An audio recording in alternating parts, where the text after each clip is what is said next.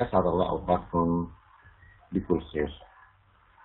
نحن نتابع نظرية القرارات تحتوى اليوم بالفصل السابع شجرة القرار ونظرية باي. عموما إذا شجرة القرار هي من النماذج التي تعتمد على الرسم البياني. ف يمكن تصميمها لتمثيل وتحليل الحالات والمشكلات التي تتطلب بحكم طبيعتها اتخاذ القرارات على ضوء عدد يعني بيكون عندنا متوفر عدد من الحالات المستقبلية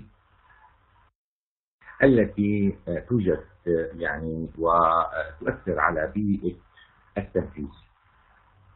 نموذج شجرة القرار يمكن متخذ القرار من أن يفحص كل البدائل ويحللها ويأخذ فكرة عن نتائجها بطريقة بسيطة مرئية وبشكل منظم فيستطيع من خلال شجرة قرار مناقشة البدائل ونتائجها المحتملة بطريقة جد سهلة وبشكل واضح ومتناسق بحيث أنه تعرض كل البدائل والحالات المستقبلية وكذلك احتمالات حدوثها ونتائجها المتوقعة على الرسم البياني. بهذا الملخص البسيط إذا عم نقول إنه رح نركز على موضوع شاشة القرار ثم نتناول موضوع بايز يعني. الهدف العام من هذا الفصل هو أن نتمكن من فهم شجرة القرار ومن تصميم شجرة القرار لمشكلة تتطلب قرار بمراحل متعددة في حالة المخاطرة ثم نتمكن من استخدام شجرة القرار لحل المشكلات المؤسسات واستيعاب مفهوم الاحتمالات الشرطية والتمكن أيضا من استخدام مراجعة تقريرات الاحتمالات استخدام تحليل نظرية بايس ستكون محاور هذا الفصل على الشكل التالي. نتعرف على شجرة القرار ماهيتها هيكلها بناءها استخداماتها ونصائح إنشاء شجرة القرار ثم تفسير شجرة القرار ونقاط قوة ومزايا نموذج. شجرة القرار بالإضافة إلى عيوب ونقاط. ضعف شجرة القرار ثم نتناول احتمالات الشرطية ونظرية بايس تقديم لهذه النظرية. سنتناول نموذج البايزي أو بسيط ثم القيمة النقدية للمعلومات الإضافية الثانية والنموذج البيزي المركب والمعين والقيمة النقدية المتوقعة لمعلومات العينية ثم تطبيق عملي شامل عليه.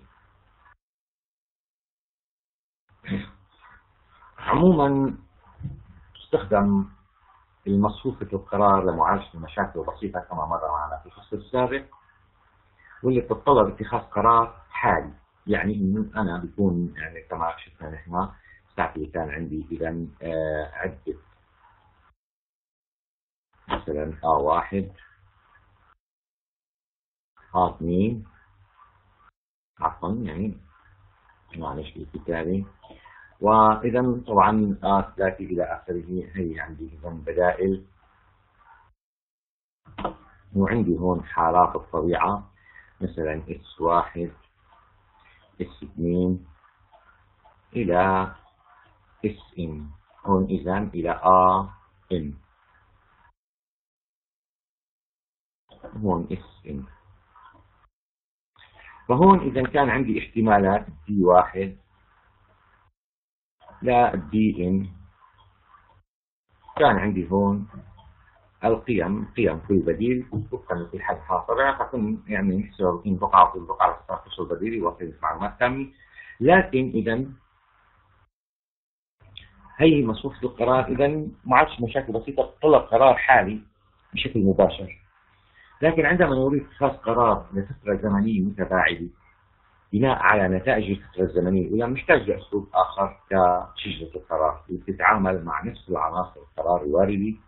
طبعا بمصفوفة القرار وهي عندنا نحن بنمثل عليها البدائل النتائج حالات الطبيعة والاحتمالات. القرارات يعني قد تتخذ بشكل متتابع أي قد تكون متسلسلة ويتوقف بعضها على البعض الآخر. من هنا إذا حاجتنا لشجرة القرار تكون متتابع ومتسلسل ويتوقف البعض على البعض الآخر ونتائج القرار تؤثر على الذي يلي. من هون إذا جاءت شجرة القرار كأداة تساعد متخذ القرار لفحص البيانات الخاصة بالقرار بشكل مخطط بياني. يسهل عملية صنع القرار وبالتالي تعرض هذه الشجرة عملية صنع واتخاذ القرار بشكل تمثيل بياني يبين فيه الاستراتيجيات حالات الطبيعة العوائد كلها لمساعدة القرار في اختيار أفضل بديل أو القرار الصائب باختيار البديل الأنسب. والسؤال إذا ما هي شجرة القرار؟ بشكل عام إذا آه، هي الفكرة والأسلوب مستمد من تعبير مجازي وهو كلمة شجرة. فعند الرسم إذا تظهر على شكل شجرة على اعتبار أنه عملية اتخاذ القرار تتفرع وتتشعب بأكثر من اتجاه. فبيكون هالتفرع يعني اتخاذ القرار يعني آه، تابع لشو؟ للظروف المختلفة المحيطة بالقرار وأيضا وفقا للبيانات أو المعطيات المتاحة عن المشكلة. مع الأخذ بعين الاعتبار مؤشر البيئة الخارجية والداخلية اللي بتكون طبيعة أو بيكون ذو طبيعة احتمالية. إذا في الواقع العملي إذا قمنا باتخاذ قرار بإنشاء مصنع معين على سبيل المثال فهكذا نوع من القرارات إذا يعتبر آه، إذا بمثابة القرار العام أو الأساسي لكن مرتبط به قرارات أخرى تتفرع عنه باقي القرارات الثانويه تعتمد على مؤشرات أخرى مثل مستوى الطلب أو حجم الاستثمار وممكن يتفرع عن هذه القرارات الثانويه إلى قرارات أخرى أكثر تخصص بالاعتماد على نسب احتمالية معينة.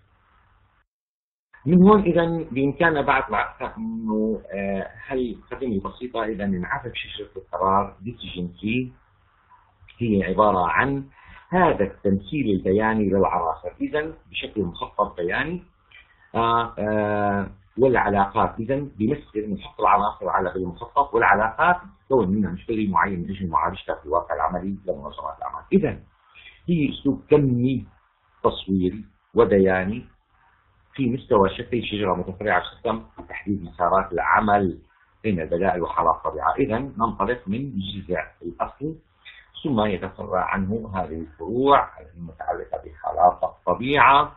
مثل عقد آه، احتمالية يتفرع ها إذا عوائد أو خسائر إلى آخره.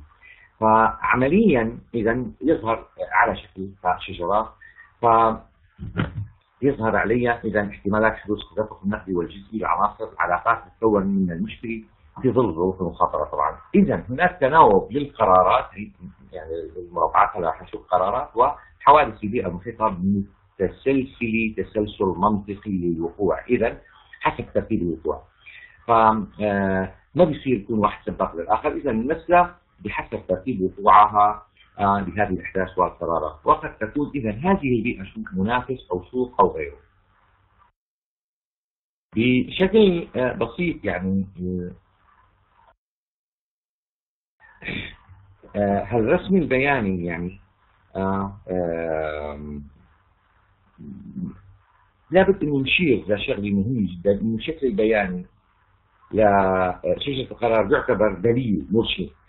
لمتخذ القرار نحو حالة الطبيعة أو الفرصة الاستثمارية اللي بتعطيه أفضل نتيجة وبتقلل تكاليفه والمخاطرة اللي آه، عم يعيشها عند اتخاذ القرار. إذا هذا آه، يعني الرسم البياني يعكس مختلف عناصر وعلاقات النظام نظام المشكلة ونظام العمل السببية كل واحد مرتبط بسبب معين. أو نتيجة لسبب آخر. إذا يمثل كل فرع من فروع الشجرة قرار محتمل. ولماذا قد يؤدي هذا الخيار إلى خيار ثالث مع استخدام الخطوط المتفرعة طبعا واللي بتشير إلى كل خيار يوم خيار مستقل عن الخيار الآخر. إذا الشجرة بشكل بسيط إذا وسيلة سهلة فعالة لفهم الخيارات المحتملة للقرار فيه النتائج المحتملة لكل خيار محتمل وموازنة كل إجراء من إجراء من الإجراءات ضد المخاطر والمكافآت التي يمكن أن يحققها كل خيار.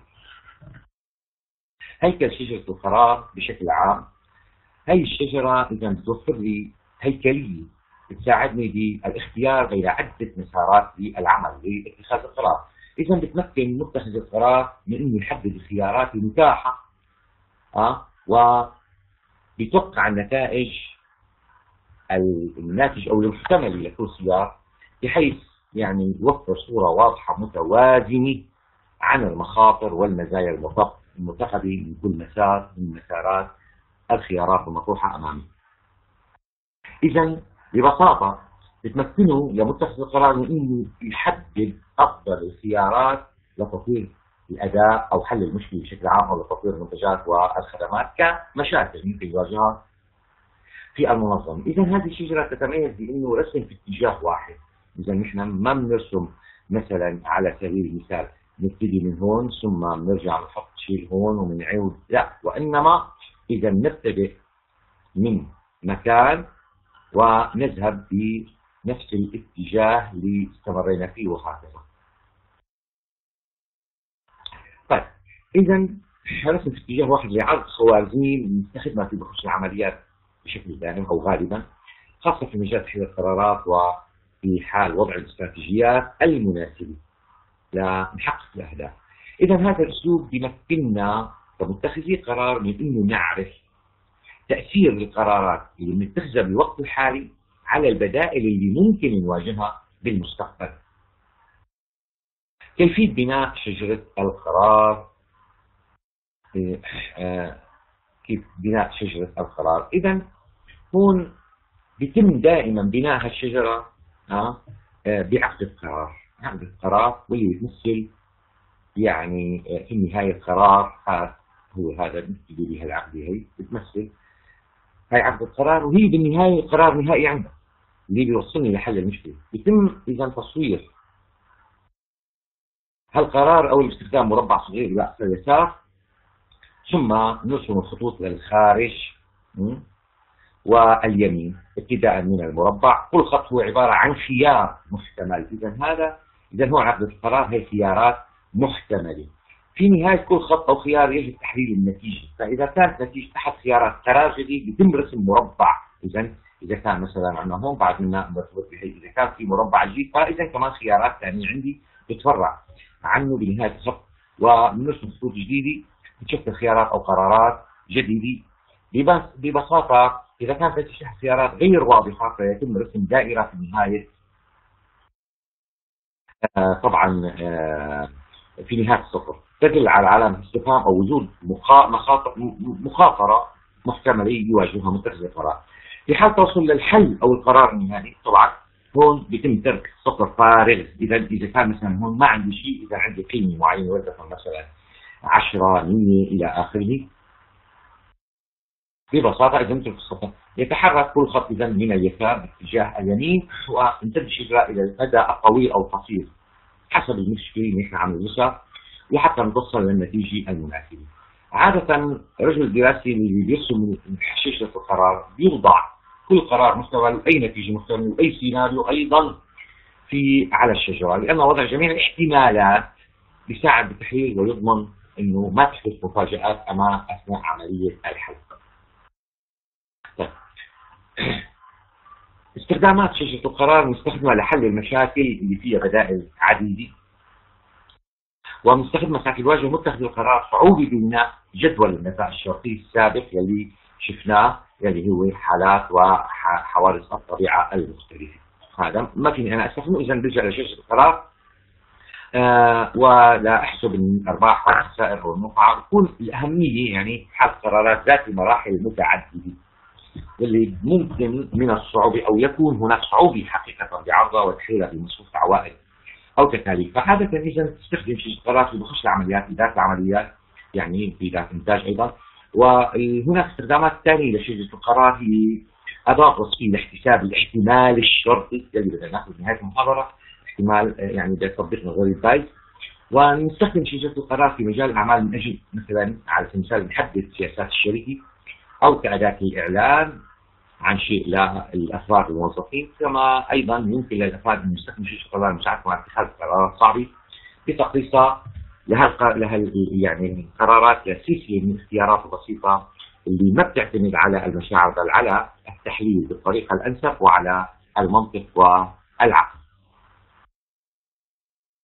شو هي النصائح ل يعني ممكن آه لانشاء الشجره، أول شيء عند بناء شجرة لازم يعني نراعي بعض القضايا، أول شيء نبني الشجرة من اليسار لليمين مع إنشاء يعني انتباه شديد للتسلسل الزمني لشو؟ لوقوع الأحداث، ما بصير نحط حدث قبل حدث آخر.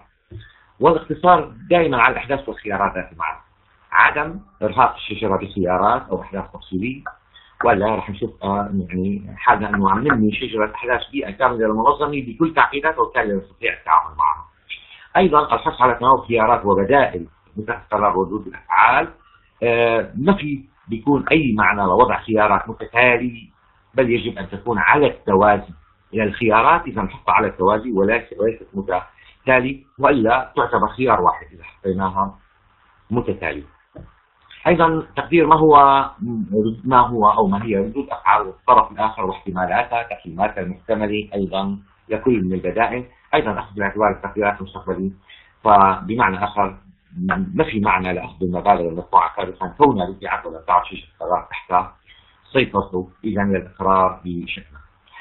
هلا تمثيل شجره القرار. رسم شجره القرار لا يتم يعني بشكل يعني عشوائي واعتباطي وإنما نتبع مجموعة من القواعد والخطوات الواضحة على ضوء البيانات اللي بتكون متوفرة عن المشكلة أي الدراسة هلأ كل ما كان الشكل معبر بشكل كامل وصحيح عن رقم شيء وعن تفرعات هذه المشكلة كان هذا الأمر إذا كان الشكل صحيح وسهل وبسيط إذا بيكون عامل مساعد وأساسي لأن يوصل للحل بشكل عام. هناك سلسلة من الخطوات نستخدمها لحل شيء القرار. أول شيء إذا استخدام مربعات التعبير عن عقدة القرار. إذا هذا المربع للتعبير عن عقدة القرار. ثم إذا هي, هي ثم عقد الأحداث البدائل والحالات وبتمثل على شجرة بشكل دائرة. وفروع الأحداث إذا فروع هذه هي, هي الأحداث. آه طبعا. فروع هذه الأحداث تمثل على شكل برانش إذا خطوط خط واحد. عقدة نهاية النتاج هي عقد لا تتبع فروع توصل على الشجرة بشكل مثلث يعني هون بشكل مثلث نهايات نتائج يعني وهي بتمثل العوائد دراسة أو آه، يعني الخسائر المتوقعة.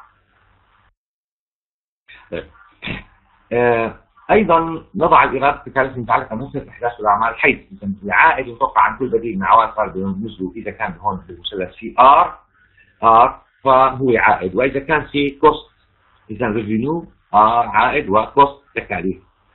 آه احتمال الحصول على حالات طبيعة منحطه على الاغصان يتم تحديدها في واقع الصورة الشخصية على الأسهم أو الاغصان فبنحط لها الاحتمالات من واقع الصورة الشخصية يعني يمكن لخبره الشخص متخذ قرار أو بالنسبة لتسجيلات تاريخية أو لبيوت الخبرة يعني الاستشاريين والمتخصصين آه بهذا المجال.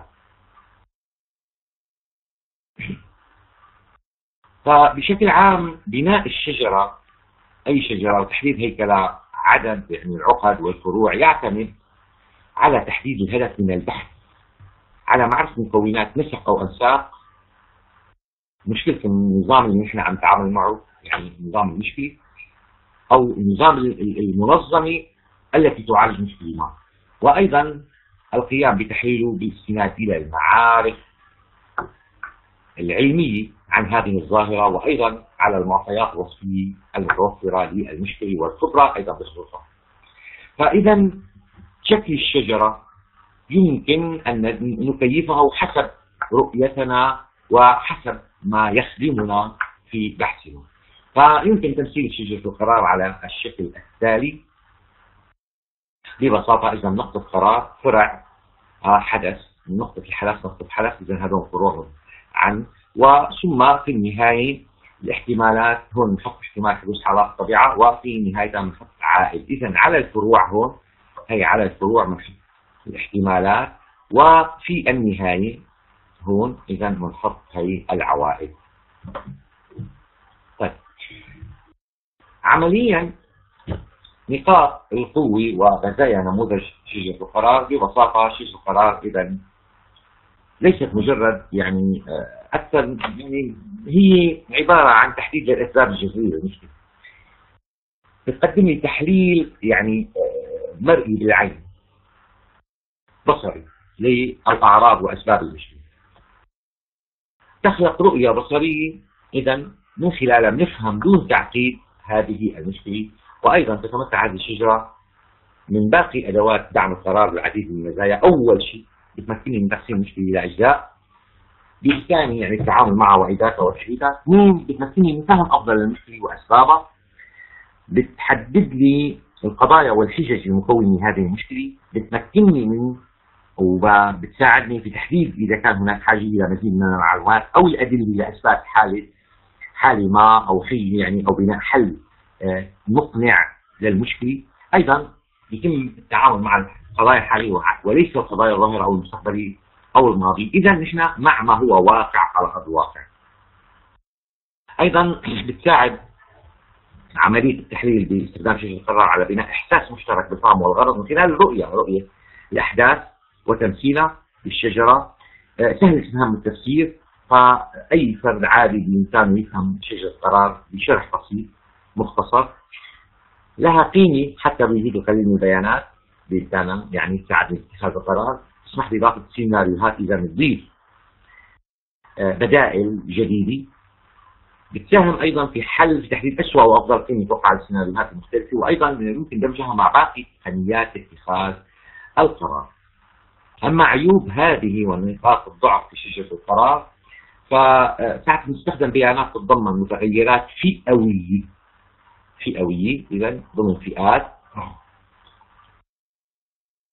فعمليا بأعداد مختلفة من المستويات المعلومات الناتجة من شجره القرار بتكون منحازة للصفات اللي بتحتوي على مستويات أكثر. أيضا الحسابات يمكن إن الحسابات تكون معقدة جدا خصوصا إذا كانت العديد من القيم غير أكيدة. أو إذا كانت الشجرة عم تحتوي على الكثير من الطبقات. من عيوبها أيضا آه عندنا بتعتمد موثوقيه المعلومات الموجوده في على شو؟ على تغذية المعلومات الداخليه والخارجيه من البداية يعني إحنا بندخلها هي بتعتمد إذا كان الحل دقيق بيعتمد على دقة هذه المعلومات التي نضعها ونغذي بها الشجرة.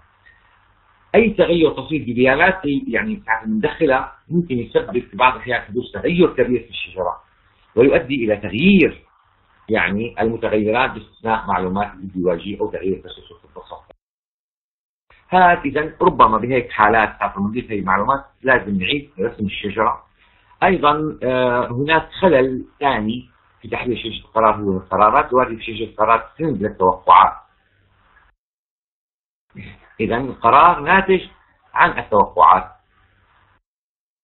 فببساطة آه، يمكن إنه تؤدي التوقعات غير المنطقيه إلى عيوب اخطاء الشجرة على الرغم من إنه هي الشجرة تتبع مسار طبيعي للأحداث بتسلسل صحيح للأحداث. فأيضا أشياء قرار عرض الأخطاء التصنيف بسبب بعض الاختلافات في التصورات والقيود المفروضة على تطبيق الأدوات الإحصائية. عموما آه، أشياء القرار أيضا يعني بتساعدني بإني آه، أتبين وأفحص أو يعني عالج حق الواحد بالمرة الواحدة أحيانا بيؤدي إلى مربعات تصنيف مستطيله يعني طويلة قد لا يتوافق مع بشكل جيد مع التوزيع الفعلي للسجلات في مساحة القرار. ف آه، أيضا من عيوبها ونقاط ضعفها إنه بالرغم من إنها بتوفر رسومات توضيحيه سهلة العرض إلا إنها قد تكون غير عملية في بعض الحالات. آه، يعني حتى البيانات اللي بامكاننا نقسمها تماما إلى فئات ونستخدم اختبارات الحد الادنى البسيطة تتطلب شجر قرار كبيري، اشجار كبيره أحيانا قد تكون معقدة غير مفهومية وتشكل صعوبه في أو عرض. عادة نستخدم رسم أشجار قرار يدويا عادة يعني لعده عمليات سحب بسبب طول المساحة في بعض الأقسام. فاذا ما في طريقة مضمونة للتنبؤ بعدد الفروع اللي بتنبثق من القرارات أو القرارات الفرعيه كمان هي من العيوب. فهذا الفهم لايجابيات سلبيات تحت شجره القرار بيبين لي إنه عيوب شجره القرار يعني تلغي كثير من المزايا لاستخدامها وخصوصا إذا كانت الشجره يعني كبيرة ومعقدة فهناك صعوبة بتطبيقها على نطاق واسع كآلاف الصناعة أو خلاص. طيب الاحتمالات الشرطية الاحتمالات الشرطية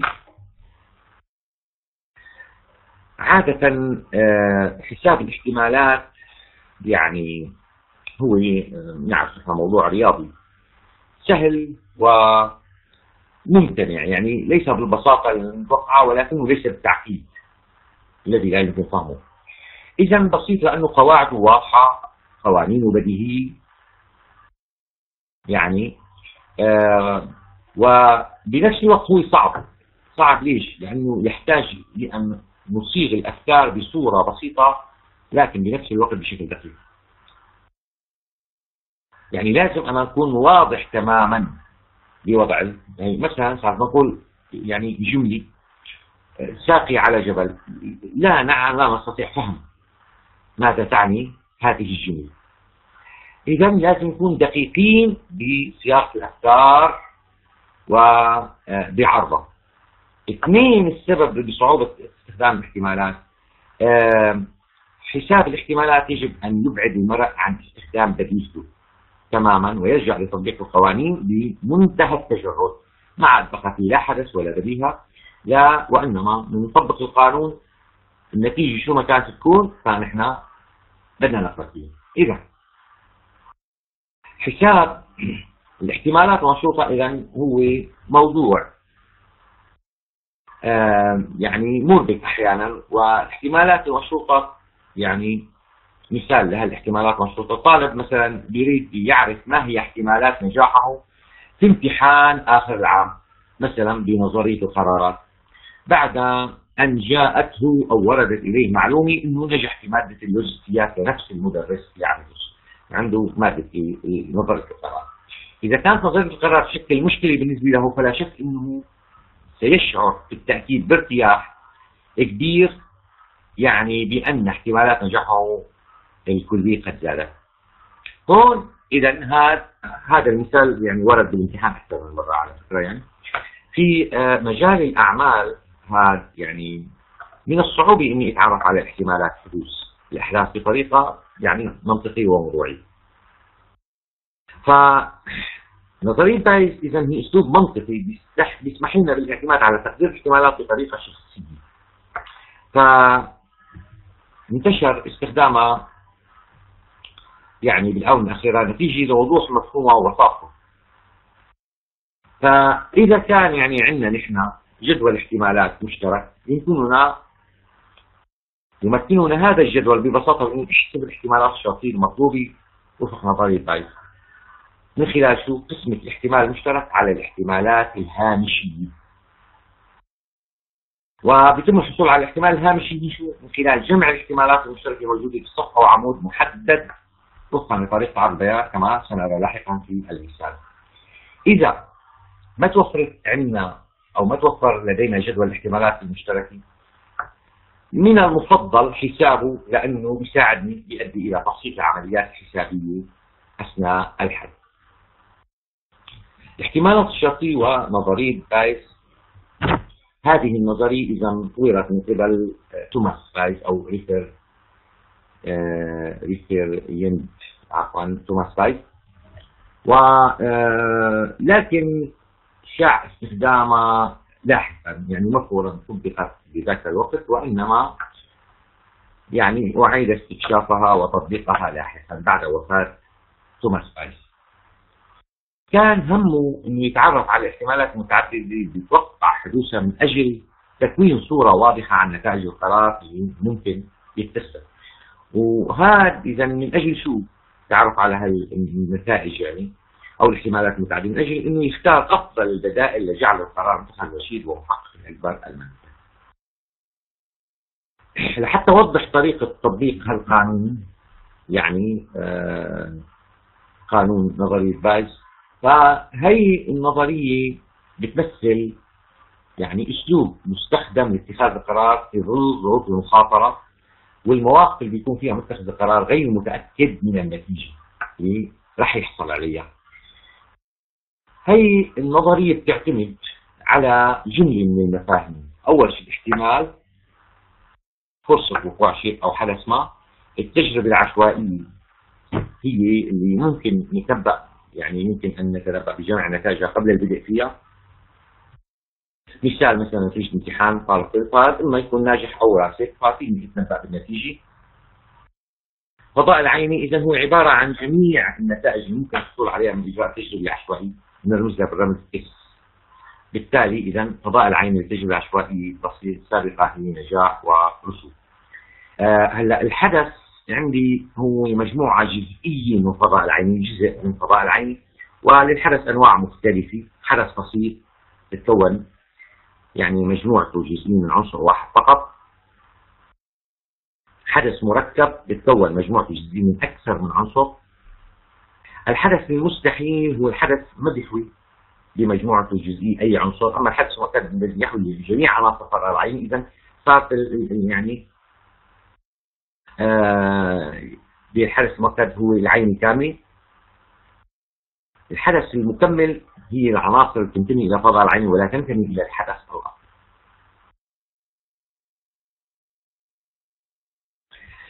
الحدث المكمل إذا تنتمي لفضاء العين تنتمي للحدث الأصلي. فإذا كان الحدث الأصلي A والحدث المكمل له هو A ناقص. فإذا A ناقص. اجتماع A شو بيساوي؟ بيساوي S إذا العين التفويض إذا تعني العين الحدث المؤكد وتعني طيب. A ناقص. تقاطع. A إذا الحدث الأصلي وتقاطع الحدث المكمل له يساوي الخالي. الحدث المستحيل الذي يعني لا يمكن تحققه. الأحداث المستقلة شو هي الأحداث التي لا تؤثر وقوعها وقوع بعضها على وقوع أو عدم وقوع بعضها الآخر، أحداث غير مستقلة اذا هي الأحداث التي تؤثر وقوع بعضها على وقوع أو عدم وقوع بعضها الآخر. دالة الاحتمال بنرمز لها دائما بالرمز بي.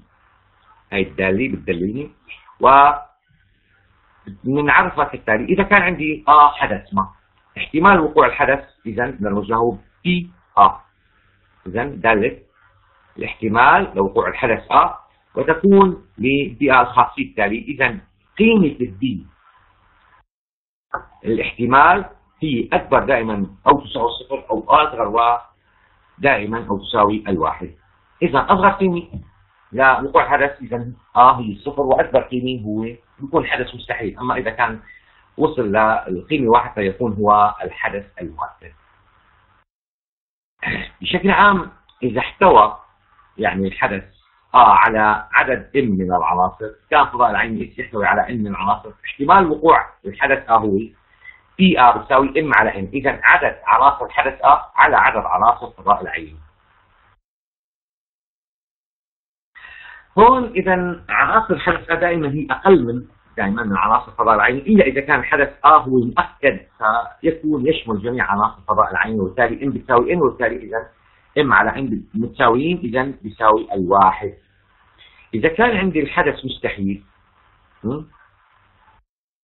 فعدد عناصر حدث آب دائما بتساوي صفر يكون m بتساوي صفر وبالتالي وقوع احتمال وقوع الحدث A في هذه الحالة يساوي Pr بتساوي صفر على n بتساوي صفر. وبالتالي اذا دائما وابدا قيمه الاحتمال دائما أكبر أو تساوي صفر أو أصغر أو تساوي الواحد. نظرية يعني بايز بايظ ببساطة إذا هي إجراء عم يسمح لنا بالتعبير عن الاحتمال المشروط. احتمال مشروط لشو؟ لحدث عشوائي آه.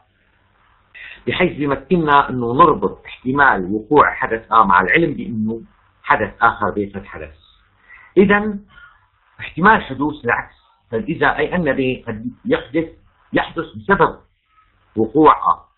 بعبارة ثانية حتى نفهمها. إذا نستخدمه لنظرية بايس لحساب احتمال وقوع الحدث على أساس ارتباطه بوقوع حدث آخر. إذا إذا افترضنا أنه عندي أنا حدثين A و B واحتمال وقوع A لا يساوي الصفر ولنفترض عندي أنا الأحداث A1 A2 A3 A4 A5 تشكل يعني فضاء العيني تسجيل الفضاء العيني S بمعنى أنه آ واحد اثنين لآ خمسين. مجموعات جزئية من فضاء العين الإس. ولكنها متنافي بين بعض البعض مثلا مثلا لا يوجد تقاطع بين أي اثنين منها. كل وحدة مجموعة جزئية من المجموعة الكلية. آه. فعمليا واجتماعها مع بعضها بشكل فضاء العين الكلي إذا لنفترض أنه حدث ضمن فضاء العين الدي المنطقة المظللة في الشكل على سبيل المثال. فببساطة يعني.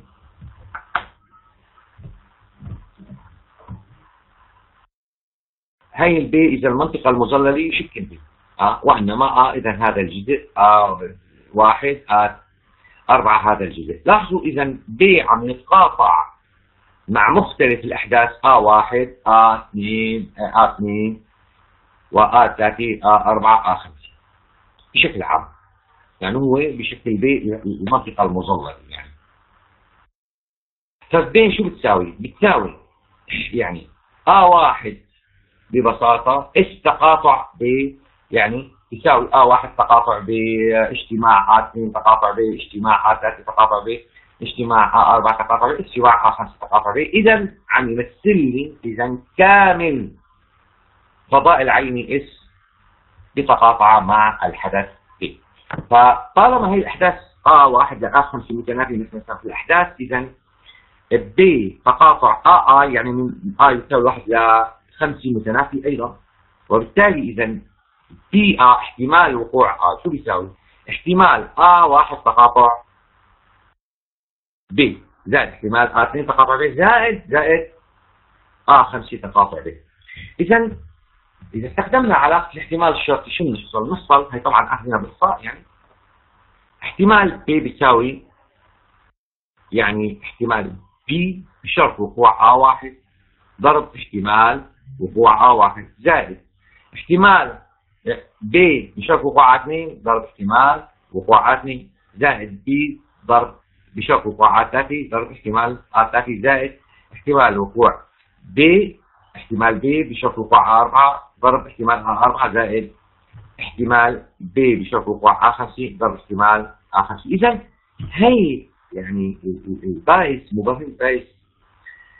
آه، غايته الأساسية أنه تربط لي الاحتمالات الشرطية والاحتمالات الهامشية لحتى نقوم باستنتاج هاي المبهمين نبتدي بتعريف الاحتمال الشرطي، الاحتمال الشرطي هو عبارة عن إذا كان عندي حدث.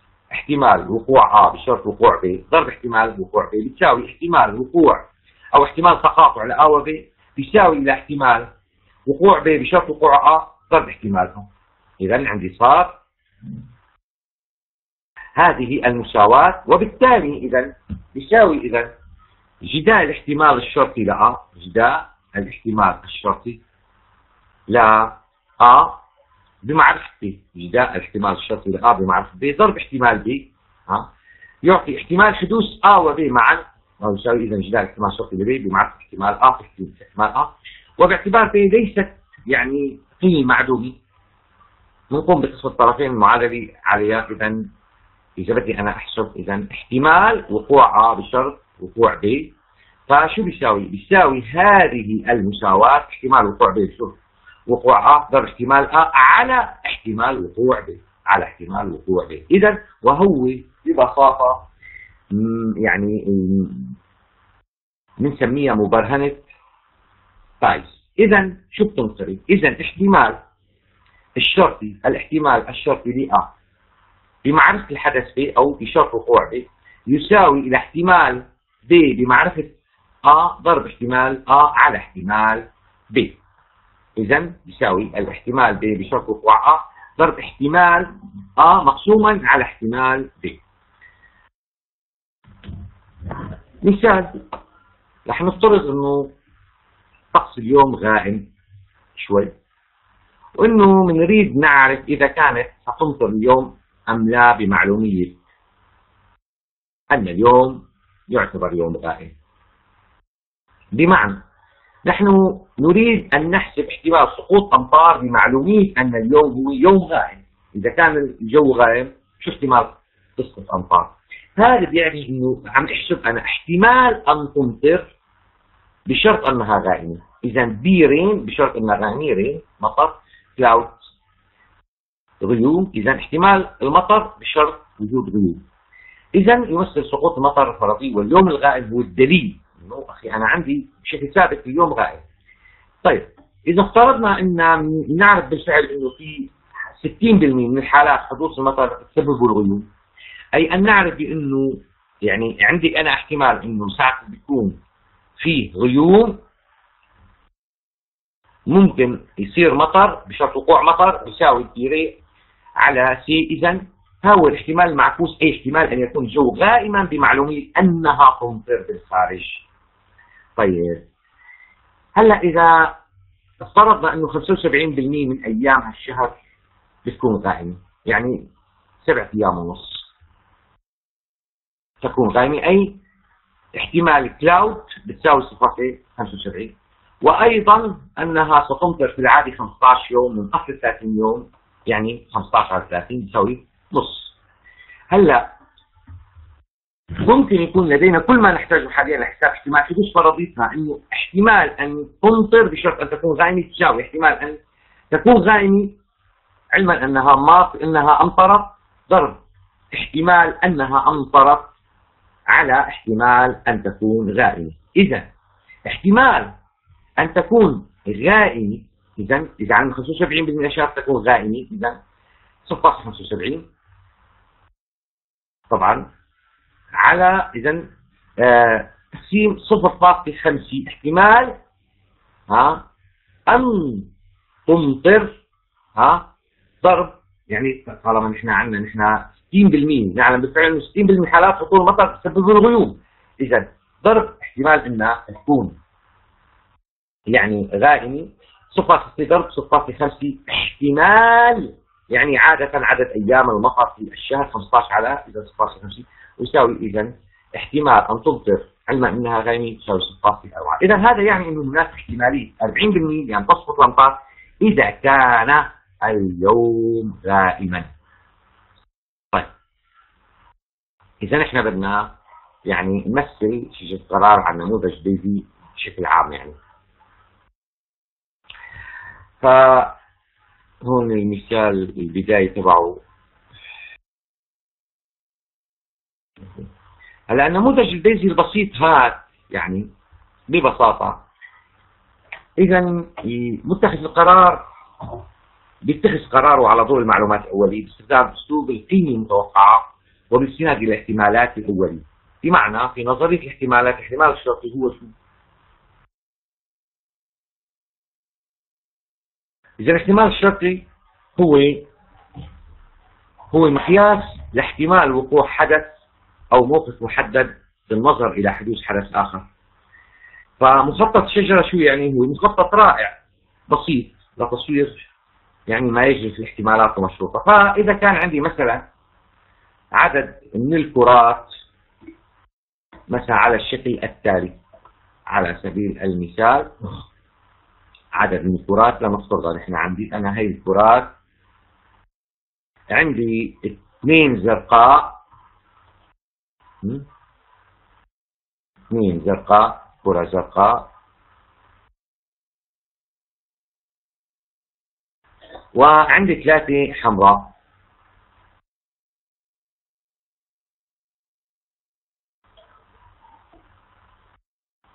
فعمليا إذا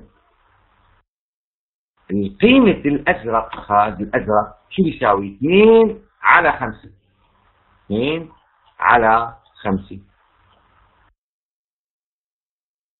هلا إذا نحن بدنا نسحب كرة شو احتمال؟ نسحب كرة زرقاء إذا بتساوي 2 على 5 وشو احتمال إني أسحب كرة حمراء؟ إذا هون شو احتمال إني أسحب؟ إذا هون كرة زرقاء. وإذا شو احتمال إني أسحب كرة حمراء؟ فشو بيساوي؟ إذا بيساوي 3 على 5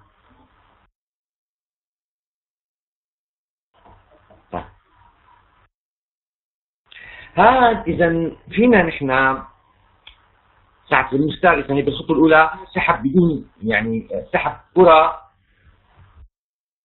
فببساطة اذا هي الاحتمالات إذا عم يسحب بشكل عشوائي. طيب إذا تم اختيار الكرة زرقاء بشكل بالأول يعني اخترنا نحن الكرة الزرقاء. هناك فرصة واحد على أربعة تحصل على الكرة الزرقاء. ها؟ هون إذا مثلا نحن سحبنا بهدول سحبنا الكرة كانت هون زرقاء إذا هون زرقاء. شو صار عندي هون بالنتيجة؟ صار عندي وحدة زرقاء ها وظل عندي ثلاثة حمراء. طيب. هلأ إذا نحن إذا اختيار الكرة الزرقاء هناك فرصة إذا كمان واحد على أربعة لحتى تطلع عندي هون زرقاء. إذا واحد على أربعة لحتى يطلع عندي النتيجة زرقاء. إذا هون وبالتالي شو راح يطلع عندي؟ بالنهاية هون ثلاثة حمراء راح يبقوا لأنه سحبت أنا الكرة الزرقاء. وإذا تم اختيار الكرة الحمراء يعني هون كان عندي كان اخترنا الكرة الحمراء شو كان راح يصير عندي هون؟ هون راح يضل عندي اثنين أحمر اثنين أحمر واثنين أزرق طيب بالسحب الثانية شو راح تطلع عندي؟ راح تطلع عندي طبعا اذا سحبنا هون مرة ثانية؟ ممكن أنا يطلع عندي وحدة حمراء. طيب وبالتالي اذا راح تكون الوحدة الحمراء ثلاثة على أربعة ها؟ وهون إذا سحبت أنا بالمرة الأولى حمراء فراح يطلع عندي إذا راح يبقى عندي من هذول اثنين حمراء اثنين زرقاء. طيب بالسحبة الأولى إذا سحبت أنا السحبة الأولى ها؟ احتمال إن تطلع حمراء إذا اثنين على أربعة اثنين على أربعة.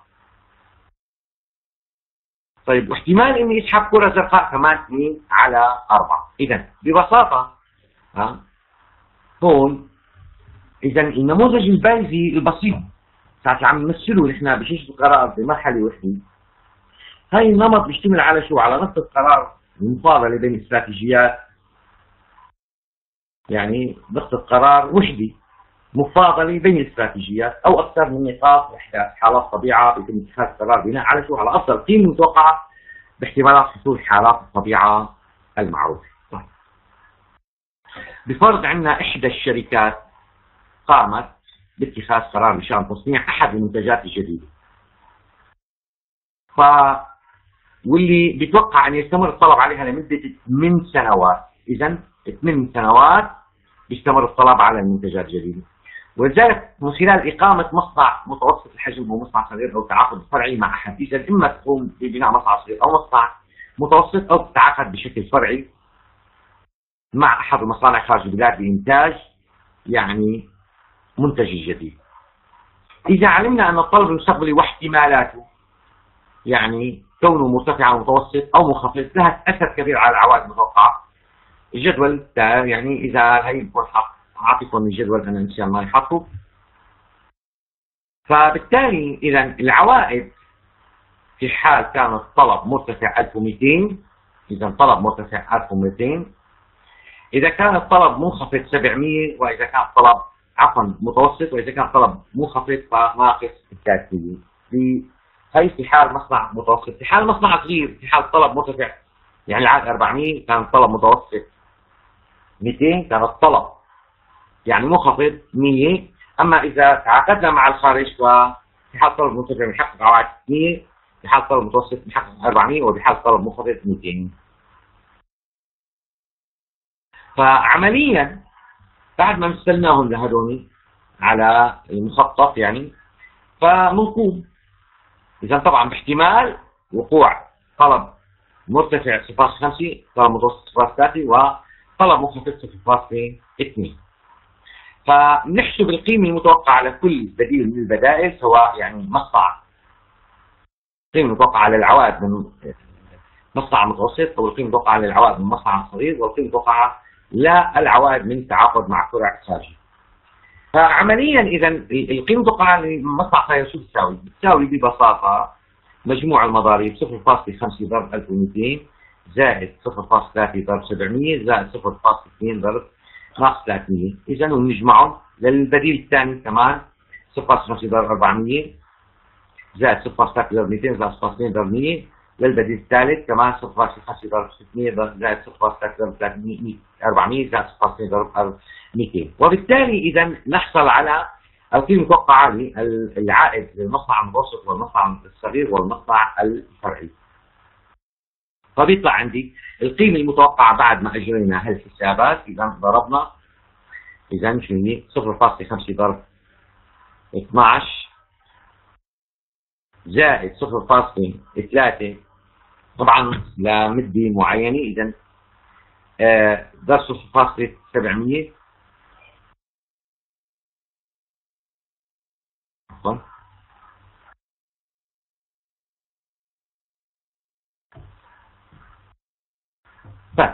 هلا إذا ببساطة إذا بيطلع عندي أنا القيمة المتوقعة للبديل الأول. بتساوي آه 6000 للبديل الثاني بتساوي آه ببساطة 2240 وللبديل الثالث راح تطلع عندي 2680 طيب بمقارنة ساعه إحنا يعني بنجري المخططات يعني فبنشتغل قيمه توقع بكل نقطة حدث نقاط 1 2 3 وطبعا هي النقاط طبعا هون إذا قيمه توقع شو بتساوي؟ بتساوي اذا للبديل الأول بتساوي آه كما قلنا 0.2500 زائد 0.700 زائد فبيطلع عندي 6000 للبديل الثاني صار 2240 والبديل الثالث 3680 فبالتالي اذا نقوم باختيار أعلى هالأرقام يلي هو 6000 البديل الأول هو ان ناخذ يعني نبني مصنع متوسط الحجم. والخيارات الخيارات الثانية إنه نعلم عليهم بمعنى إنه تم رفضهم، اذا هون الخيارات الثانية إنه تم رفضهم واخذنا الخيار الأول بيحقق أعلى العوائد. كما نلاحظ هون إنه لم نأخذ تكاليف البناء بنظر الاعتبار. لو توفرت لدينا فان بدنا نطرحها للكيف من كل قيمة متوقعة. نختار أعلى قيمة صافي وقد يتغير قرار الأمثال بهذه مثلا لو كان مثلا تكلفة البناء على سبيل المثال 5000 أو مثلا 1000 فبدي يطلع 5000 من هون من هون فراح يبقى كمان البديل الأول هو الأفضل. هلأ القيمة النقدية للمعلومات الإضافية الثانية. القيمة النقدية للمعلومات الإضافية الثانية إذا هي بتعتمد عند حسابها على شو؟ على نتيجة القرار أو على النتيجة المتوقعة بشكل عام، فالمعلومات يعني بشكل عام تعد مرادفة لقيمة القرار اللي بينبني على أساس المعلومات. بشكل عام ما فيني أنا ميز المعلومة قبل استخدامها. الاستخدام هو اللي بيمنحها القيمة. إذا كانت معلومة موجودة ما استخدمتها ما ما فيني أنا أقدر قيمتها. إذا قيمة المعلومة تظهر وبعد الاستخدام الاستخدام هو الذي يعطيها القيمة ويمنحها القيمة لهذه المعلومة. إذا نلاحظ اثناء عمليه اتخاذ قرار أحيانا قد تصل معلومات إضافية. فهون لازم راجع الاحتمالات يعني آه، للأحداث السابقة المرتبطه احتمال وقوع الأحداث، إحنا عم نشتغل مثلا على قرار معين آه، يعني هذا القرار ممكن يأخذ منا تحليل ويعني آه، حسابات مثلا مده 10 أيام، طيب باليوم الرابع وردت معلومات إضافية، أنا بهملها؟ إذا كانت لا بدي أخذها بعين الاعتبار لأنه بتأثر على القرار. هذا بشكل بسيط تعني مراجعة الاحتمالات الأولية أو البدائية ومستخدم لها الغاية هي مفهوم الاحتمال الشرطي ونظرية بايز. إذا نموذج البايز المركب إذا هذا بيعتمد على شو؟ على المعلومات الإضافية بالإضافة للمعلومات الأولية اللي كانت عندنا. فنستخدم يعني فيه أسلوب القيم المتوقعة مع الأخذ بعين الاعتبار الاحتمالات اللاحقة. القادم أو المتأتي أو الآتي أو التي وردت إلينا. إذا هالنوع من شجرة القرار هو معقد وأكثر تعقيد من الحالة السابقة تتطلب عملية اتخاذ قرار على عدة مراحل. وبالتالي نستخدم هذا الأسلوب في معالجة المشاكل الأكثر تعقيدا اللي يواجهها متخذ القرار في مواقف متعددة. فبيتطلب فيها اتخاذ قرارات لاحقة للقرار الأول اللي قد تم اعتماده في بداية عملية حل المشكلة. وبالتالي إذا هذا القرار يعني يتطلب اتخاذ قرار لاحق للقرار هو بالنهاية بيتم في نهاية كل فرع حساب نتائج البقاء على أساس احتمال تحقق الفرع أو حالة الطبيعة المعنية. مثال بفرض إنه بنريد نحن نتخذ قرار في اختيار مشروع من بين المشروعين أول كثير تكلفته 5 ملايين وعمره 10 سنوات. في حال كان الطلب مرتفع ويحقق عائد قدره مليون. وفي حال كان الطلب منخفضا يحقق عائد قدره 300 والثاني صغير تكلفته مليونين. عمره 10 سنوات كمان. في السنتين الأولى والثانية يحقق عائد في حال كان الطلب مرتفع وقدره يعني 250 ألف. في حال كان الطلب منخفض كان يحقق عائد قدره 200 ألف. ونريد بعد سنتين القيام بتطويره. يعني بعد السنتين المشروع صغير أي يستمر بالعمل بعد التطوير ثمان سنوات إذا قمنا بهذا التطوير فإن تكلفة التطوير بتكلفنا 4 ملايين و200 ألف. وبعد التطوير إذا كان الطلب مرتفع يحقق عائد 900 ألف. وإذا كان الطلب مرتفع يحقق العائد سينخفض إلى 200 ألف.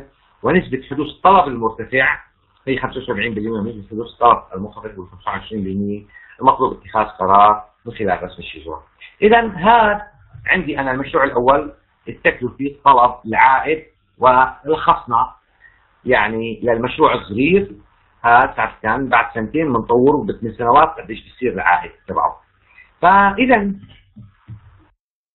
نقوم برسم الشجرة بالاعتماد على الجدول اللي لخصنا فيه المعلومات الواردة بنص المسألة. هون تلخيص. فبحيث إذا نبدأ برسم عقد القرار ثم بيتم تفريع أو تفرع بنحط عليها فروع بعدد البدائل. بعدين بنرسم من كل بديل عقدة الحالات الطبيعية. هلا الشكل التالي إذا رح يبين بعد الرسم بنرقم كل عقدة قرار وعقدة حالي ونرقم العقد طبعا من اليسار إلى اليمين من الأعلى إلى الأسفل. ثم إذا نحسب كل عقدة على حدة من نهاية من آخر عقدي إلى أول عقدي بالترتيب أي من اليمين إلى اليسار. نحن رسمنا من اليسار لليمين إذا الحل من اليمين إلى اليسار. فنبدأ بالحساب النقطة ذات الرقم الأعلى الأعظم. إذا فعند الدائرة يعني عقدة أحداث فهون القيمة بتساوي الاحتمال ضرب النتائج ونأخذ مجموع حالات الطبيعة عندي مربع نفاضل بين حالات الطبيعة ونأخذ الأفضل بينها. لنفترض إذا بهذا المشروع هذا إحنا مثلناه أنا عندي يعني الحالة الأولى إذا نحن المشروع كبير فببساطة إذا بحال بيكون طلب مرتفع بنسبة 75% 75% فبحقق عائد مليون. إذا كان طلب منخفض بحقق عائد 300000 بنسبة 25% أما إذا كان عندي المشروع الصغير فهذا المشروع إذا استثمرته. لمدة سنتين راح يعطيني 200000 أما إذا بعد سنتين أنا طورت قرار آخر وبيكلفني 4 ملايين و200 ففي حال الطلب المرتفع راح يعطيني 900000 كان طلب منخفض بيعطيني 200000 في حال نجاح وإذا نفذت على ما هو عليه راح يكون إذا 250000 200 فإذا هون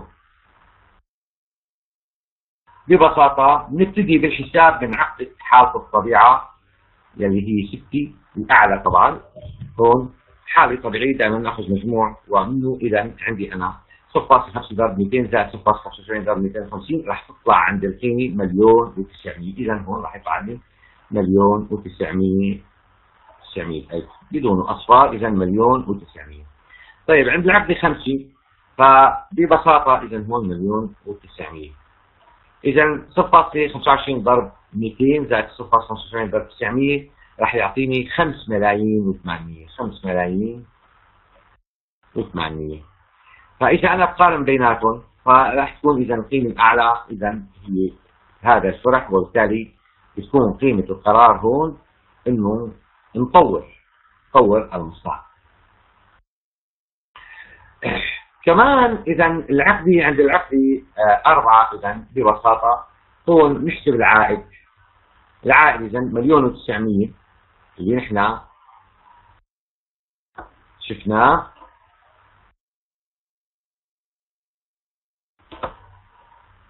يلي هو بحال يعني ناقص الصفر ها وبالتالي اذا آه بعدين بنلاحظ يعني بالمقارنه قرار بقاء المشروع دون تطوير. بيعطيني عائد أعلى من قرار التطوير يعني عند بدون يعني بقاء المشروع دون تطوير بيعطيني مليون 90 بينما العائد الماكسيموم عند التطوير بيعطيني مليون 600 فليس هناك جدوى لتطوير المشروع. إذا القرار الافضل هو عدم التطوير عند الحلقة طبعا ثلاثة ها؟ هون هي عقدة حالي. عقدة حالي طبعا هون إحنا عند الحلقة أربعة فأنا عندي آه، ببساطة بدي فاضل الماكس بين العوائد المنتظرة من التطوير أو عدم التطوير راح يطلع عندي إذا التطوير أفضل أو عدم التطوير هو أفضل. فعندي الحلقة ثلاثة فصار عندي عقد الطبيعة. بدي أوازن ما بين حالة التطوير وعدم التطوير بقاء المشروع على ما هو عليه. فببساطة آه إذا راح يطلع عندي إذا آه الأفضل هو عدم التطوير أما عند العقد اثنين فأنا هي هي عقد حالة الطبيعة. فبنضربها لنحسبها 0.5 ضرب 300000 زائد 0.75 ضرب مليون. فرح يطلع عندي القيمة 2 ملايين و250 ألف. فساعة بتقارنها 2 ملايين و250 ألف ببساطة آه، مع المليون و900 اللي حصلنا عليها بالعقد الثلاثي فراح يكون عندي بالتأكيد يعني العقدتين اثنين وثلاثة نلاحظ إن العائد المتحقق من العقدتين المشروع يعني الكبير وقدره يعني الإجمالي الصافي ها. 3 ملايين و250 ألف أكبر من العائد المتحقق من العقدين يعني المشروع الصغير وقدره مليون و300 ألف. وبالتالي المسار البديل الأول هو إنشاء المشروع الكبير. إذا هون حسبنا هالحسابات كلها وبالتالي إذا آه ساعدني أنا شجرة القرار بوضع هالبيانات كاملة على الشجرة وقمنا إذا كنا بالرسم هنا اليمين باتجاه اليسار ثم الحل من عفوا قمنا بالرسم من اليسار باتجاه اليمين ثم الحل من اليمين باتجاه اليسار وكان قرارنا النهائي إنه إن نعمل مشروع الكبير لأنه يحقق لنا عائد اكبر. المعاينه والقيمه النقدية المتوقعه على المعلومات العينيه. هذا اذا التحليل اللي بيستند فيه الاحتمالات لحالات طبيعه أو هذا التحليل اللي بيستند فيه على الاحتمالات السابقة اللي حصلنا عليها لحالات طبيعة هو التحليل المسبق أو القبلي. بناء على التحليل المسبق بنقرر في أن انه نتخذ الفعل الأمثل أو الخيار الأمثل بطرق التحليل السابق أو ننتظر البحث عن معلومات إضافية من خلال شو؟ البحث السوقي من خلال المسوحات المستهلك من خلال دراسه دراسه معاينه المنتج أو أي طريقة ثانية. هي المعلومة الإضافية بنسميها يعني هي المعلومات إذا معلومات العيني نستخدمها لمعلومات العيني بشو؟ بإني أنا أعيد يعني نقح جيل الأخطاء أو صحح الاحتمالات المسبقة باستخدام قانون بيز اللي نحن سبق وأشرنا إليه عند استغراق الاحتمالات. إيجاد حالات الطبيعة من خلال دمج الاثنين مع الاحتمالات وصلنا ونحاول تعرفنا عليها بالاحتمالات أو عرفناها بالاحتمالات البعدية وبعدين إذا نحسب القيمة المتوقعة أو القيمة النقدية المتوقعة أو التكلفه المتوقعة لخساره الفرصة أو بديلة باستخدام الاحتمالات البعدية آه، بشكل طبيعي. إذا حتى يتسنى لنا حساب الاحتمال المشروط احتمال A بشرط وقوع B في هالحالة يجب أن نعرف شيء من العلاقة عن العلاقة الاحتمالية بين المؤثر بين المؤشرات طبعا وبين حالات الطبيعة. فإذا نحتاج دائما لمعرفة الاحتمال المشروط. احتمال A بمعرفة B لكل المؤشرات وكل حالات الطبيعة. وهي إذا بنشوفها كما قلنا البيانات التاريخية أو التقدير الذاتي وهي بتمثل احتمالات مشروطة لإمكانية الحدوث على المعلومة آي من دراسة العيني بوجود حالة الطبيعة اس يلي تعرف بعملية التحديد إذا كان هناك حاجة لجمع البيانات الإضافية قبل اتخاذ القرار الفاصل تعرف بالتحليل قبل البعد التحليل قبل البعد. هلا من التطبيقات هناك يعني تطبيقات كثيرة على نظرية فايز وعلى شجرة القرار كما مر معنا. يمكن الاستفادة منها بحل العديد والعديد من المشاكل. يعني على سبيل المثال إذا كان عندي مصنع هذا اجى السنة يعني بالامتحان المثال مصنع يقوم بإنتاج سلعة معيدة أو سلعة معينة به 3000 تنتج الآن الأولى 20% من إجمالي إنتاج السلعة الآن الثانية تنتج 35% من إنتاج السلعة الثالثة 45% إذا كانت الإنتاج المعيد في 3000 على الترتيب هو يعني بالآلة الأولى آه اللي بتنتج 20% من إجمالي الإنتاج هو 2% يعني من انتاجها هو معيب 2.5% من انتاج الآلي الثاني معيب و3% من إنتاج الحالي السادس معيب إذا سحبنا وحده عشوائيه من إنتاج المصنع وجدنا أنها معيبه احسب الاحتمالات هذه أن تكون القطعه المعيبه من إنتاج الآلة الأولى أو أن تكون القطعه المعيبه من إنتاج الآلة الثانية. إذا آه الحل إذا أول شيء نفرض آ واحد إنتاج الآلة الأولى آ اثنين إنتاج الآلة الثانية آ ثلاثة إنتاج الآلة الثالثة في إنتاج سلعة معيبه فاحتمال أن تكون يعني إنتاج الآلة الأولى احتماله آه، كما هو معطى 20% إذا 0.2 آه احتمال إنه إنتاج الآلة الثاني 35 0.35 واحتاج الآلة الثالثة هو آه 45% إذا 0.45 هلا آه احتمال أن يكون يعني معيب اللي المنتج معيب ومن إنتاج الآلة الأولى شو يساوي؟ يساوي 2 على 0.2 اذا يساوي 0.02 الإنتاج من الآلة الثانية بيساوي 2.5 على 0.35 فراح يطلع عندي 0.25 واحتمال أن يكون المنتج اللي سحبناه معيب ومن انتاج الثالثي شو بيساوي؟ يساوي 3 على 0.45 وبالتالي 0.03 أما أن تكون السلعة من إنتاج الآلة الأولى إذا علم أنها معيبة فاحتمال أن تكون من إنتاج الآلة الأولى ولكنها معيبة يساوي احتمال أن تكون إنتاج الآلة الأولى ضرب احتمال أن تكون معيبة وإنتاج الآلة الأولى على مجموع احتمالات أن تكون إنتاج الآلة الأولى ضرب احتمال أن تكون معيبة ومن إنتاج الآلة الأولى. إذا بيساوي 0.2 احتمال أن تكون آه، من إنتاج الآلة الأولى الكمية ضرب احتمال أن تكون معيبة من إنتاج الآلة الأولى 0.2 على 0.2 ضرب 0.2 زائد 0.35 ضرب 0.25 زائد 0.45 زائد 0. ضرب 0.01 بيساوي احتمال أن تكون السلعة من الأولى إذا علم بشرط أنها معيبة إذا يساوي 0.15 وبنفس الطريقة إذا أن تكون السلعة من إنتاج الآلة الثاني إذا علم بشرط أنها معيبة فيساوي 0.33 بهالشكل هذا إذا نكون أخذنا فكرة عن شجرة القرار ونظرية بايس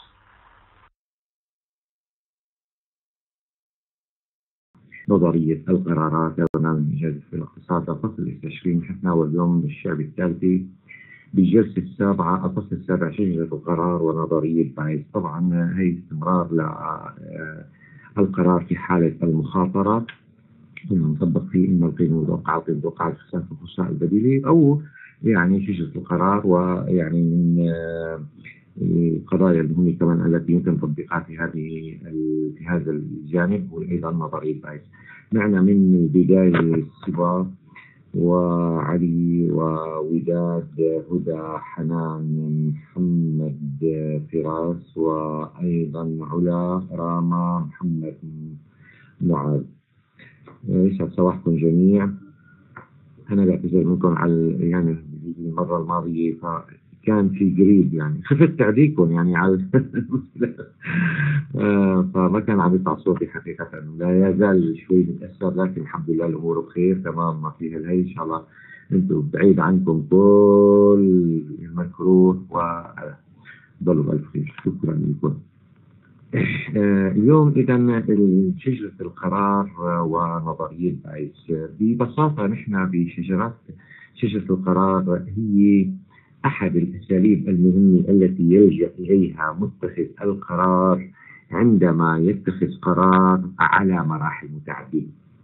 لأن شجرة القرار حطوها بذهنكم وهي مشان بكرة الامتحان هي كمان كثير بتفيدكم. لأنه ممكن يجيب لكم أنا هيك غششكم شوي بشغلة كثير بسيطة.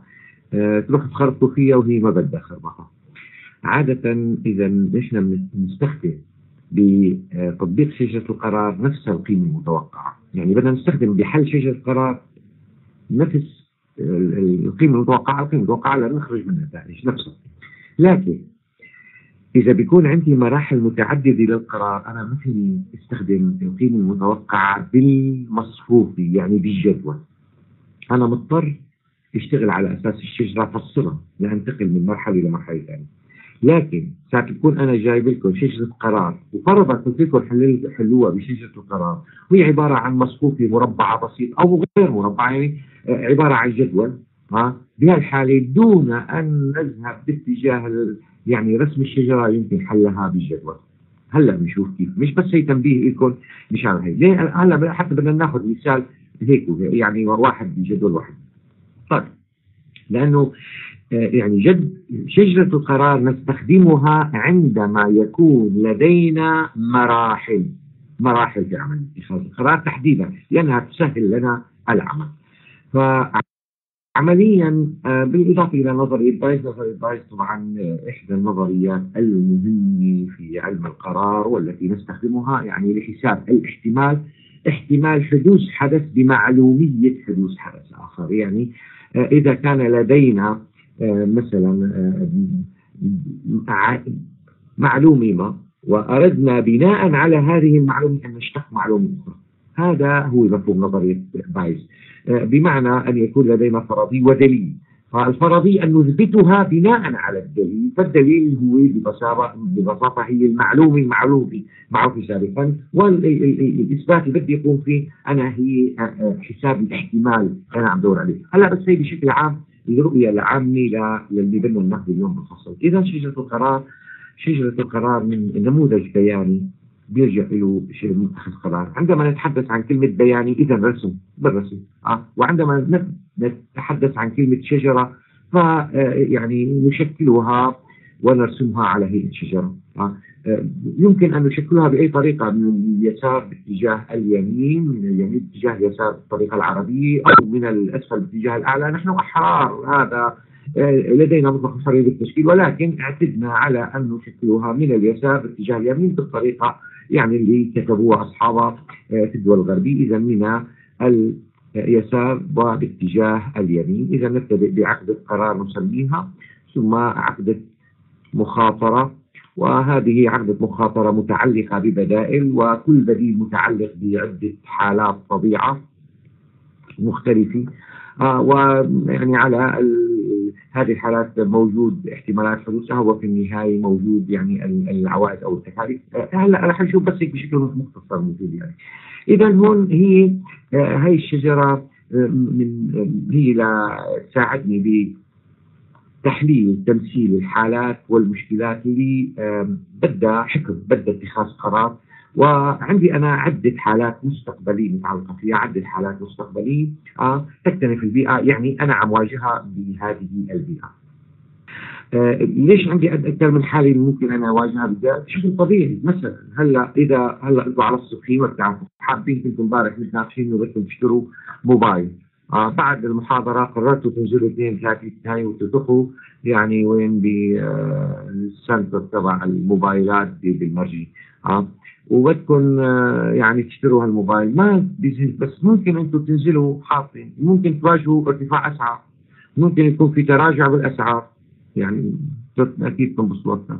ممكن يكون في استقرار بالأسعار ما تغير شيء من بعد. اذا هي حالات طبيعة. اذا أنتم بدكم تشتروا فالبدائل أنا ممكن أشتري سامسونج ممكن أشتري أبل ممكن كذا. ولكن بأي خيار من الخيارات أنا في عندي عدة حالات طبيعه ممكن اواجهها آه تضخم ارتفاع استقرار تراجع إلى آخره. فهون إذا متخذ القرار بده يفحص كل هالبدائل هالخيارات ومن خلال يعني هالفحص هذا شو بيكون؟ عم يدور على يعني النتيجه ممكن يعني يقارن فيها البدائل بين بعضها البعض وبالتالي يناقش البدائل والنتائج المحتملة بحيث إنه آه، يوصل لأنه يقدر احتمالات حدوث النتائج ويحطها على الرسم البياني آه، من خلال استخدام طبعا الجزء آه، بحيث هذا الرسم يساعده في الوصول إلى الحد. يعني من خلال رسم هيك رسمة بسيطة. إذا هون عندي القرار النهائي عم فيه معلش.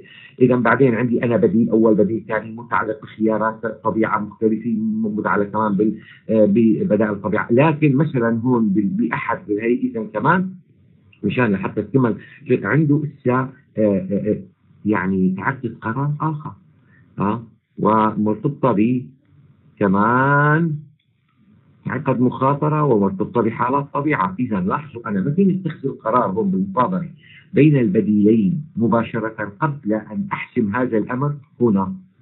فعندي قرار أولي ثم قرار ثاني. إذا من هون إذا ممكن أن تتعقد ببساطة شجرة القرار وتأخذ امتدادات لذلك نحتاج يعني ببعض المسائل عندما يكون القرار على أكثر من مرحلة أن نستخدم آه، شجرة القرار.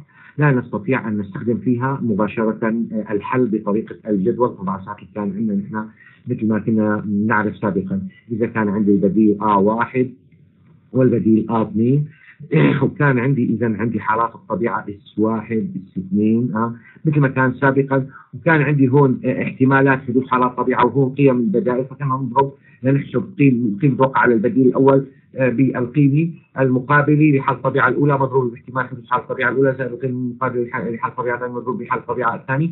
آه باحتمال حدوث حال الطبيعة الثانية. وبالنسبه للبديل الثاني نفس الشيء. ونقارن مع بعض إذا كنا بحالة أرباح. أي مسقط القرار برافو عليك إذا كنا بحالة أرباح إذا نأخذ قيمه أعلى. لكن هون إذا نحن بنستخدم يعني ممكن نحن يعني يساعدنا الجدول كثير. ولكن آه ما شرط إني أنا آه أجري الحل بالكامل عن جدول وخصوصا إذا بيكون عندي مراحل مراحل اتخاذ القرار كما قلنا إذا نحتاج إلى شجرة القرار. بشكل عام إذا رح نتعرف على مفهوم شجرة القرار، تصميم شجرة القرار، كيف نتمكن استخدام شجرة القرار، أيضا كيف نفهم الاحتمالات الشرطية ونراجع أو تقدر الاحتمالات الشرطية باستخدام نظرية بايز. بشكل عام إذا شجرة القرار هي وسيلة وأداة مساعدة لمتخذ القرار لحتى يوصل للقرار الصحيح عن طريق يعني فحص وتحليل البيانات على من خلال وضع هذه البيانات على مخطط بياني رسم بيساعدوا بتسهيل عملية صناعة اتخاذ القرار. اذا هي الشجرة بتساعدني من خلال التمثيل من خلال الرسم إني بين فيها الخيارات أو الاستراتيجيات وحالات الطبيعة أيضا وبالنهاية يعني آه وضع هالاستراتيجيات أو حالات الطبيعة نضع العوائد أو نضع التكاليف.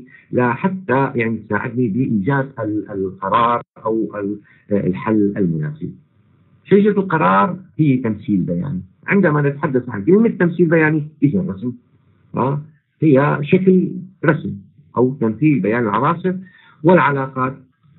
فعمليا اذا أسلوب يستخدم الناحية الكمية لأنه بحط علي أنا ارقام وتصوير لا لأنه أنت عم تستخدم مثلا هذه هي الورقة أو اللوح اللي عم هي. فأنت عم تأخذ اذا هذا الرسم وعم تحط عليه مثلا لنفترض أنا رح هلأ اكبرها ثم لنفترض أنا عم حط هون مثلا 50 ستين ناقص عشرة.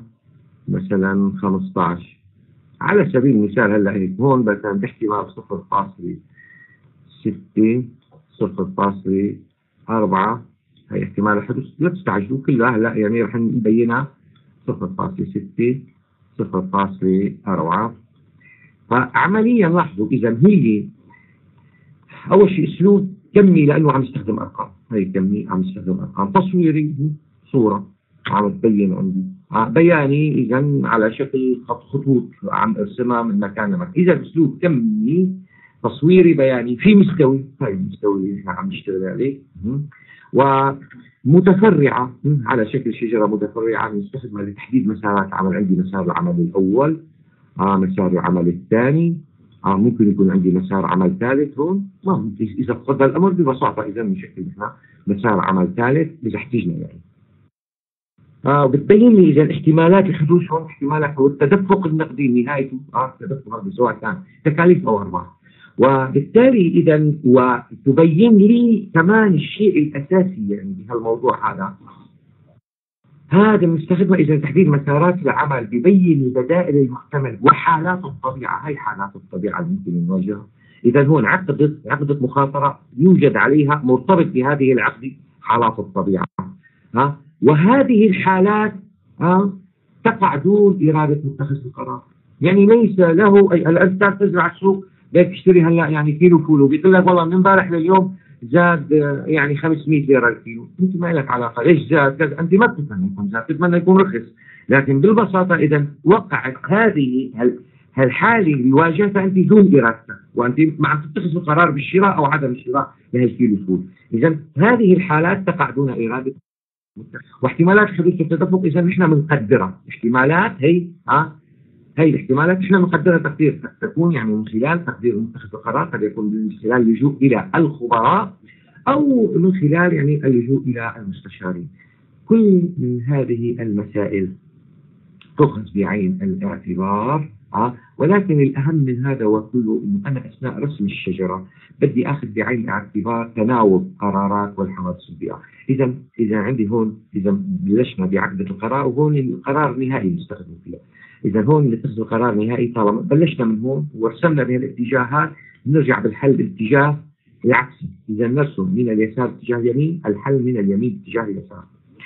وأيضا إذا عند أثناء الرسم نبتدئ بعقدة القرار نربطها بعقد مخاطرة مرتبطة ببدائل وحالات الطبيعة. حالة طبيعة مرتبطة بحالات الطبيعة ولكن هناك تبادل إذا تناوب. قرار عقدة مخاطرة أو حالة طبيعة ثم قرار. لا, لا يجوز أن يكون هناك عقدة قرار عقدة قرار. أو حالة مخاطرة وحالة طبيعة حالة طبيعة. ليه؟ لأنه ما إلى معنى يعني. أنا شو شو بالحالة ما في يعني فيني ادمجهم ببعض. طالما مثلا نقول والله حالة طبيعة هون مثلا احتمال يعني ارتفاع الأسعار ثم احتمال انخفاض الأسعار. ما فيني أنا امثلهم جنب بعض يعني هذول عم عايشهم بنفس اللحظة يعني. آه يعني ما عم يصير تغيير إلا واحد واحد من اثنين بده يكون مو اثنيناتهم مع بعضهم بنفس الوقت. فلذلك إذا هناك تناوب لقرارات حوادث البيئة مرتبة حسب الزمن المنطقي لها الوقوع للقرارات أو للأحداث؟ وهل البيئة شو ممكن تكون؟ البيئة مثل ما قلنا نحن ممكن تكون سوق يعني سوق عارض سوق طالب سوق يعني فيه آه، آه، تضخم. هذا سوق أو منافس قد تكون البيئة كمان منافس يعني وقد تكون يعني غير أي شيء آخر يعني. إذا بهالشكل هذا فالشجرة القرار بتساعدني إذا لم بالشكل العام. لوين أنا كيف فيني أعرض المشكلة؟ اللي أنا آه، عم عالجها. هي الشجرة اذا هي هيكليه بتساعدني إني أختار بين الخيارات بين المسارات المختلفة. وبالتالي بتحدد لي هالخيارات إذا الخيار الأول بالفرع الأول بالفرع الثاني آه اللي نحن ممكن نشوفه إذا هالفروعات هي خيارات متاحة. وتوقع النتائج بنهاية آه بنهاية الشجرة أو بنهاية الاغصان أنا النتائج اللي عندي إياها. وبالتالي إذا مع البدائل ففيني أتوقع فيني أعمل يعني نوع من التوقع عن طريق آه، حساب القيمه المتوقعه. من هون إذا آه، بتساعدني إني أوصل لأفضل الخيارات تطوير أو اختار البديل الأفضل لحتى مثلا نزل منتج لقدم خدمة لحتى أختار بديل عن بديل آخر موقع مصنع إلى آخره. كيف من من من بيتم بناء الشجرة؟ بيتم بناء الشجرة دائما بعقدة القرار، أول ما نبتدئ بعقدة القرار هذا مربع. ثم اذا صغير إلى اليسار ثم نرسم يعني الخطوط إلى الخارج وإلى اليمين. هي وإلى اليمين.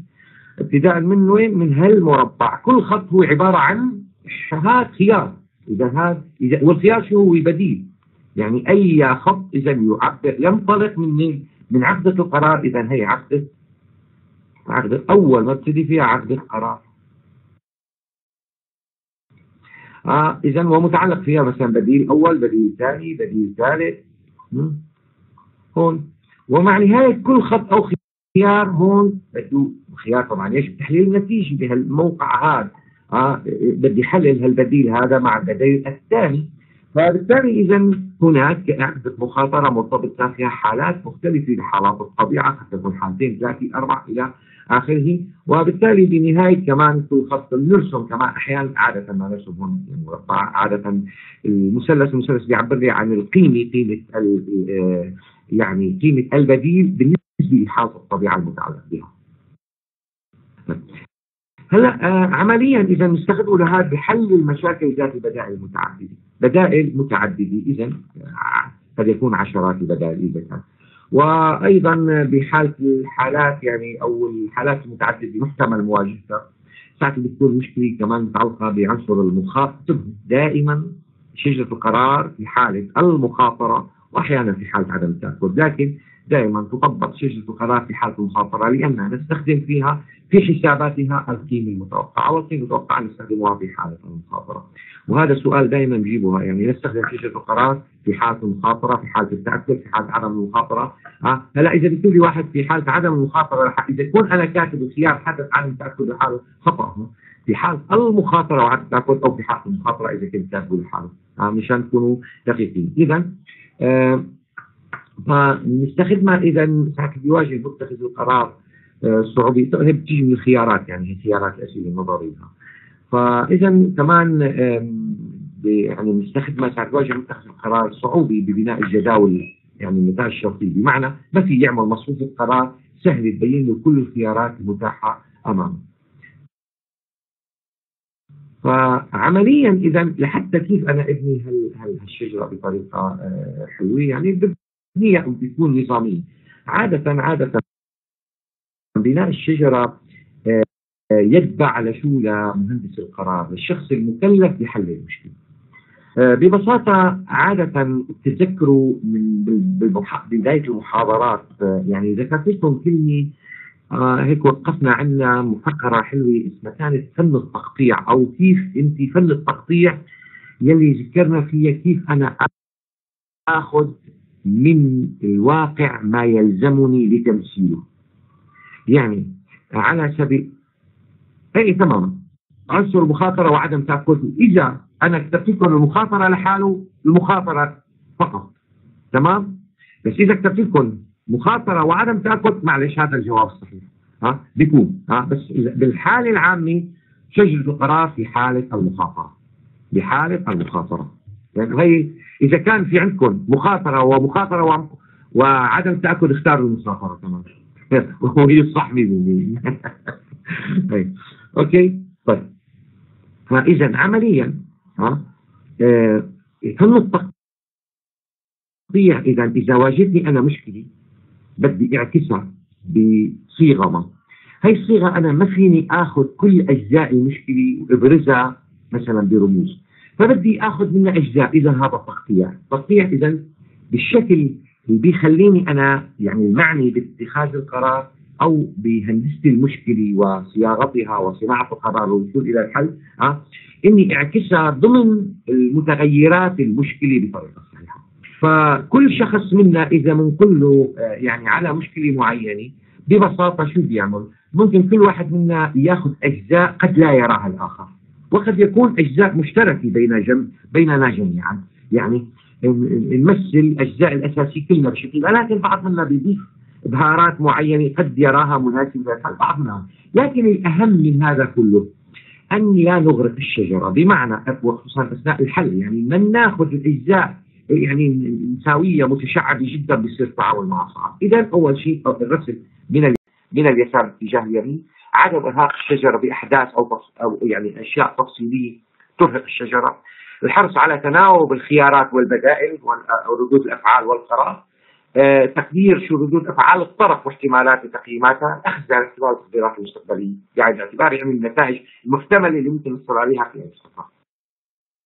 هاي القضايا كلها إذا بدي أخذها بعين الاعتبار. بمعنى مثلا أنا لنفترض بدي أحل مشكلة النقل ما بين المصانع الموجودة في دمشق وما بين مراكز الطلب الموجودة بالمحافظات الثانية هالمحافظات بحلب بحمص بحما بالطرطوس باللاذقية على سبيل المثال.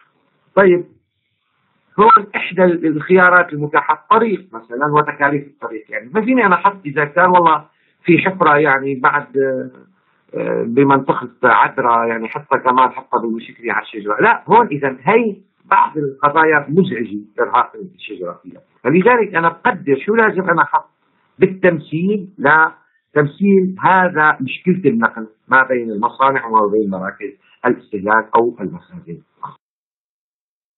هالمكونات الشجرة إذا نرجع عليها بشكل هيك هلا آه، دقيق. إذا المربع كما قلنا هو البداية عقدة القرار نسج النود وهذا بنمثلها بالبداية إذا بهذا المربع. هي إذا بداية الشجرة. من اليسار إذا باليسار. عقدة الأحداث هي قد تكون بديل أو سلوك أو حالي بنمثلها على الشجرة شغلنا بنمثلها كمان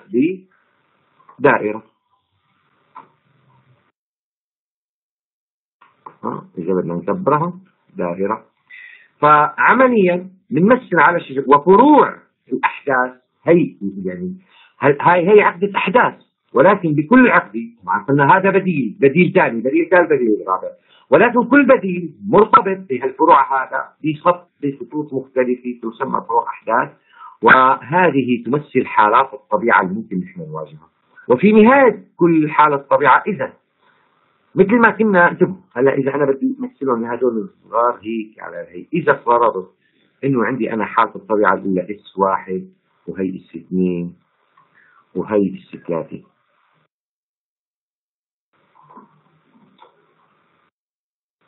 وهي S ثلاثة مثلا. طيب لاحظوا هلأ إذا أنا قلت أنا هون مثلا واحد اثنين ثلاثة مشان تسهيلها ف آه وهي قيمة هي البديل الأول آ واحد فمش كأني عم قول إنه هي حالة الطبيعة الأولى S واحد وهي S اثنين وهي S ثلاثة وعندي أنا البديل هو آ واحد هذا كله آ واحد هي آ واحد S واحد S اثنين S ثلاثة حالات الطبيعة المختلفة مرتبطة بالبديل واحد هي آ اثنين قد يكون إذا هذا آ اثنين مثلا هو آ اثنين هون ها هاي آ ثلاثة. كمان مرتبط بحالات الطبيعة نفسها المختلفة. عندي إذا ممكن يكون هون الاحتمالات إذا إذا كان عندي أنا الاحتمالات محطوطة بحطها أنا هون على الخطوط. ها فعمليا إذا هي فروع الأحداث مثل مصر على هي عقدة النهاية هي عقدة ما بتتبعها فروع. إذا كانت هي عقده النهاية عادة مثل بالمثلث ما بقى في فرع إذا حطيت أنا المثلث إذا انتهت الشجرة. انتهينا خلاص شجرة منتهيه آه ف وبنحط اذا هون الإيرادات أو التكاليف. بالنهاية اذا بنحط عليها الإيرادات أو التكاليف. إيرادات إذا كانت هي بنحط ري revenue إيراد. أو إذا كانت C تكاليف إذا كنت أنا عم أدفع. هلأ بنحط كمان نعبر عن تكلفة ب C كما قلنا. هلأ احتمالات حدوث حالات طبيعه بنحطها هون. هي الاحتمالات حدوث حالات طبيعه ممكن أنا امثلها ببساطة. اذا بشو اذا S عند S واحد احتمال حدوث حاله الطبيعه S واحد ولتكن بتساوي مثلا صفر فاصلة مثلا اثنين. صفر فاصلة اثنين. لي بس عم يرن الهاتف بس لحظة صغيرة. نشوف بالان بي اي طلاب الماجستير تبع الافتراضية يعني. بدهم يخلصوا مشاريع حقهم. بس كنت أنا شوي مكسر بهالفترة الماضية. آسف. هاي طلاب يلا إن شاء الله بكره بنشوفكم طلاب في عندنا طلاب بالجودي ماجستير بالجودي وطلاب ماجستير بالام بي اي هلا إذا عمليا آه، عندنا أنا بحط إذا هون احتمال حدوث كل حالة من حالات الطبيعة آه وبالنهاية إذا بحط العائد أو التكلفة. فهذا على السهم الواصل ما بين عقد المخاطرة المرتبطة بكل بديل من البدائل. آه طبعا ممكن يكون اذا عندي أكثر من حاله طبيعة مرتبطه بهذا البديل. لكل بديل ممكن واجه أنا عده حالات فهدول اذا هذا الشكل العام لتمثيل أي يعني تمثيل الشجرة. مثل ما قلنا إذا كان عندي عقد قرار آخر اذا مرتبطة فيه ففي عندي خيارات أخرى كمان أنا بدي آخذها بعين الاعتبار لهذه واحسبها اثناء اذا هذا شكل الرسم من اليسار باتجاه اليمين. الحل يبتدئ الحل اذا هذا هي الرسم. أما الحل فهو من اليمين باتجاه اليسار. هو اذا الحل. الحل. طيب هلا بعد ما عرفنا بشكل عام هي الشجرة مرحله الشكل العام للشجره هيك. اذا عندي أنا نقطة القرار مشان هيك عادي فرع. الفرع هو عبارة عن خيار خيار آخر نقطة حدث عقدة أحداث عقدة مخاطرة نقطة أحداث. فرع حدث احتمال حدوث حال طبيعة. الأولى احتمال حدوث حال الطبيعه الثانية احتمال حدوث حال الطبيعه عائد عائد عائد أو قد يكون تكلفي تكلفي تكلفي حسب بقى ما نحن. اذا هذا الشكل العام مكونات شجرة القرار هاي الشجرة إذا كمان إلى ميزة يعني أول شيء إذا بتقسم ممكن تقسم المشكلة إلى عدة أجزاء. لحتى تساعدني بالحل. إذا تجزيء فكر تجزيء المشكلة يعني من خلال وضعها على الشجرة فهم أفضل للمشكلة أسبابها حدد قضايا الحجج المقومة لها. بتساعدني بتحديد إذا كان هناك حاجة إلى مزيد من المعلومات لمزيد المواد اللي حالي. مقنعة حل مقنع أو لا أثناء الحل.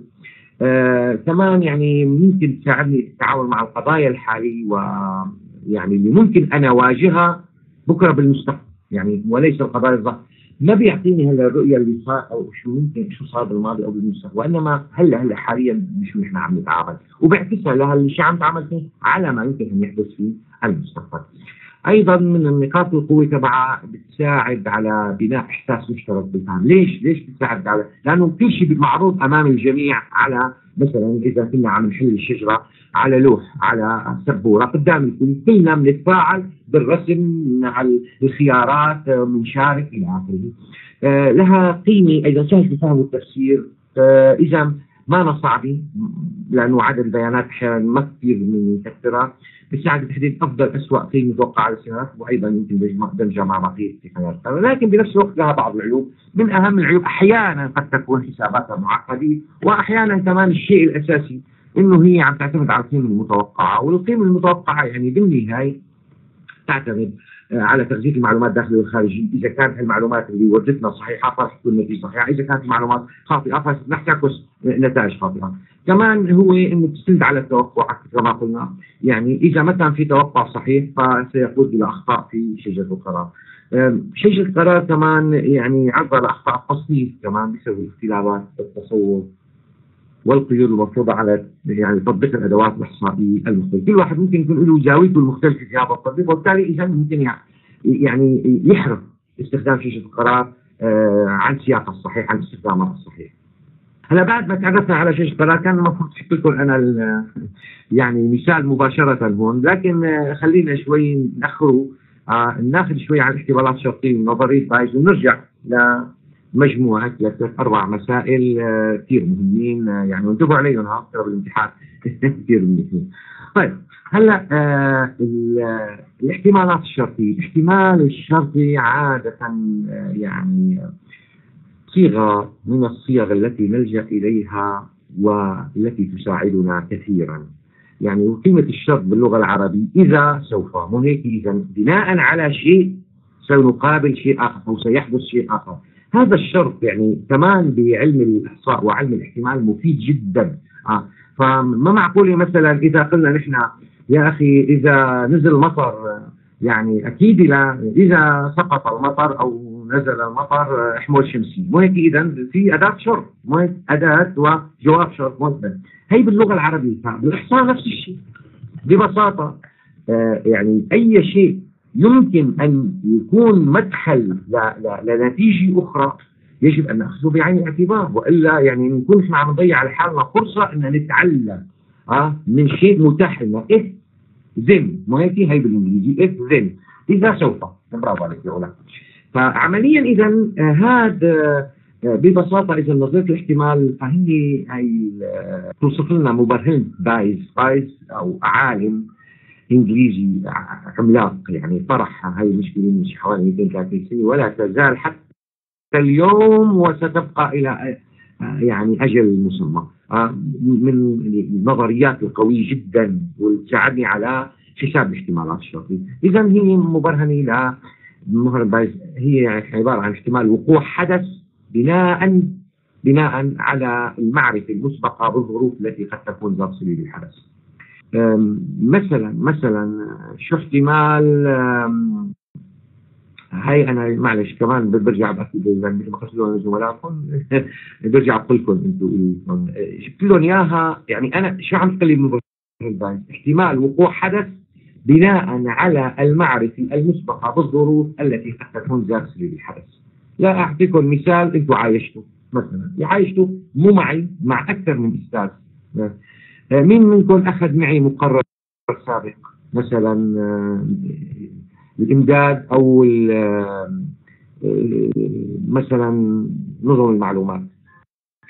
ف أها على سبيل المثال علا. علا ببساطة مثلا ساعة اللي شافت الآدتين ما عم يعطيها الدكتور طاهر على سبيل المثال. على سبيل المثال فشوفوا هون هي مشان نربطها مباشرة نفهمها لآلية بايز يعني. آه تعرف طريقته بتعرف اسلوبه بتعرف على الهيك فوالله أنا نجحت بالمايس بمعدل 85 90 فاحتمال كثير أنا فعلا مو يجيب بجوز بفايزا بناء انتبهوا بناء على المعرفة السابقة ها المعرفة المسبقة بهالظرف اللي هي وبالوظيفه ما شاء الله.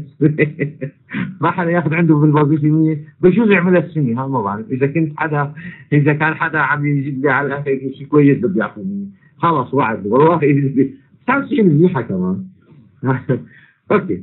هلأ عمليا اذا آه، هون القضية اذا بمعرفة شيء آخر كيف أعمل احتمال للاخر، طيب إذا أنا سألت لكم وهي جبت لكم جبت لها إياها لزملائكم بالسنه الماضية أو قبل منها، شو احتمال إنه ينجح واحد بمقرر اذا نظرية القرارات إذا كان قد تقدم عن نفس الأستاذ بمقرر الإمداد وهي ونجح بمعدل مثلا 85% وبمقرر الهداء بمقرر نظم المعلومات كانت نسبة نجاح 83% مع العلم إنه عدد طلاب كذا وكذا. فهون اذا جبت لهم هذا المثال حقيقة في الغالبية؟ كانوا شاطرين. فتطبيق على نظرية بايسكلان ببساطة مع أنه ندخل فقط بالمعادلة إحنا بيهمني المعادلة. يعني ابدا إحنا نستخدمها فهذا إذا معرفة حدوث حدث بمو... بمعية أو بمعونة معرفة حدوث حدث آخر. كان عندي على سبيل المثال إذا عرفنا أنه السرطان بيزيد يعني الوقوع فيه مع تقدم العمر فإذا السرطان إذا افترضنا أنه مرتبط بتقدم أو بالتقدم في العمر فساعة نستخدم مبرهن بايز ببساطة شو بيصير عندي؟ آه نستخدم عون الشخص لحتى يساعدنا ب آه، يعني إعطاء تقييم لاحتمال إصابة شخص بالسرطان آه لازم أوصل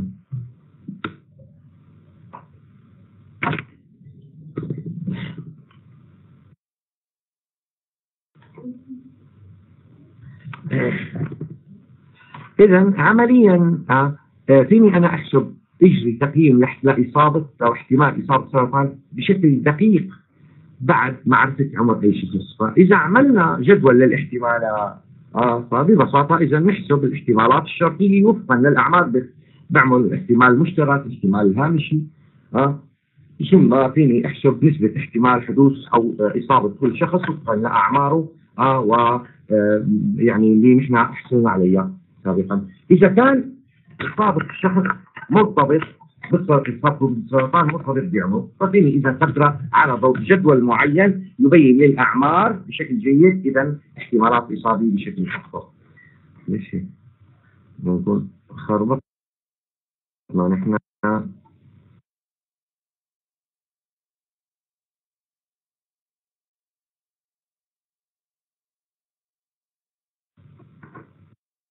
ما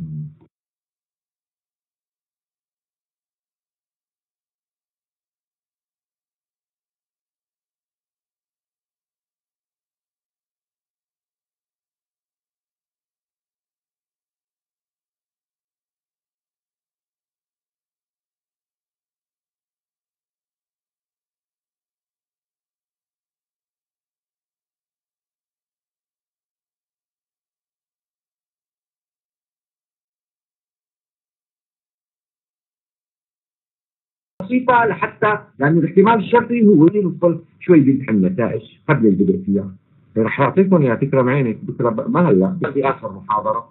بعطيكم ممكن يجيها انتبهوا هذول من موجود يجي هم نفسه احتمال يجي على شكلكم. يعني غير الأرقام. بدي أعطيكم على شكل. تجربه عشوائيه إذا تجربة ممكن. يا ناجحين يا ناجحين. يعني هلا في احتمال الرسوب بس مو لكم يعني. اذا هو الدخول للامتحان إما في نجاح أو رسوب فهي إذا تجربة عشوائية بعرف أنا النتيجة بشكل مسبق.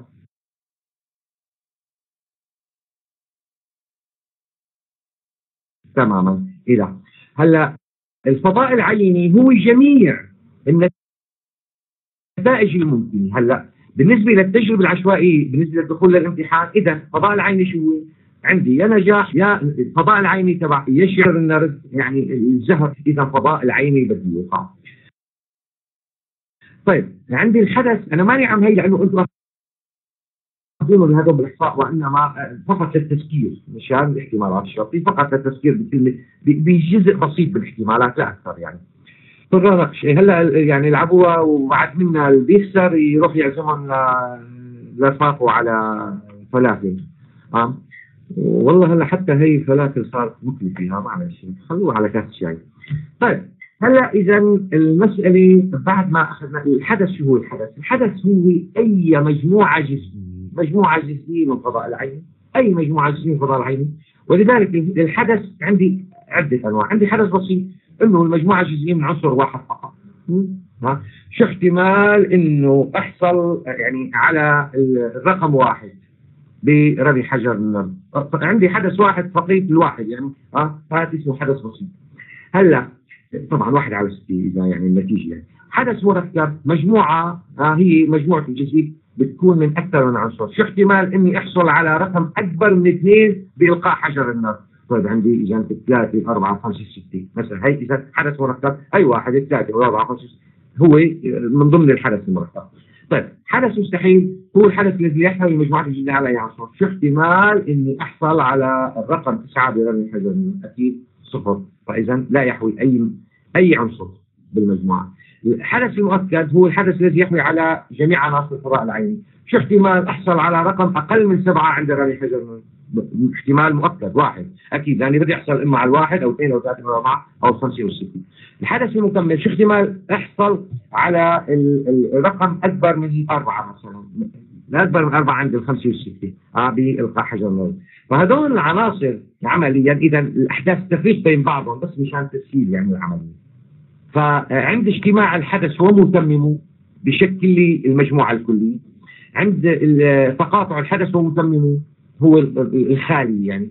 فالأحداث المستقلة كمان هي الأحداث التي لا يؤثر وقوع بعضها على وقوع أو عدم وقوع بعض الآخر. يعني إذا هلأ حنان آه يعني أخذت عندي 97 ما معناتها صفة ما فيها بتاخذ أولاد 97 هذا أحداث مستقلة. يا أخي كل واحد كاتب كل, كل ما شرط يكونوا ناقلين عن نفس الوظيفة وما شرط كل واحد بيكون بمجموعة. ولكن هي كاتبة بشكل منيح آه وعارضه بشكل منيح وهي والثاني كاتبه بشكل منيح. آه ومستوفي فإذا هذول أحداث مستقله يمكن أن يأخذ الطالب عدة طلاب ما لهم علاقة بنفس الوظيفة. هلأ بيجوز تكونوا مو قليلين هكذا متبادلين يعني المعلومات وعايدين سياسه بصيغتكم وعم تضحكوا على الأستاذ. صعبه بس معلش. هلأ بنسميها هي بشكل عام أحداث مستقله إذا يمكن أن تأخذ نفس العلامة بشكل بسيط يعني. أيضا عند الأحداث غير المستقلة الأحداث التي يؤثر وقوع بعضها على وقوع أو عدم وقوع بعض الآخر يعني مثلا إذا كان اليوم غيم بيأثر إنه احتمال يوقع مطر آه حدث يعني المطر إذا مرتبط وليس مستقل آه ما بيجي هيك من فراغ. فإذا هذا حدث غير مستقل. دالة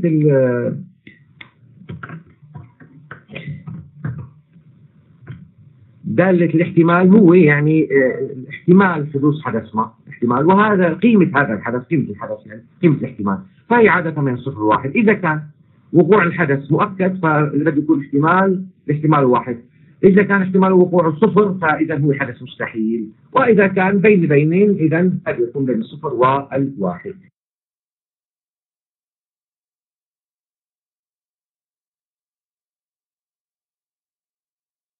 هي بشكل عام يعني بس يعني لمحة بسيطة عن عن الاحتمالات بس لحساب الاحتمال الشرطي. الاحتفاظ بحدث آخر. إذا وقع أحدهما سيؤثر على نتيجة الآخر.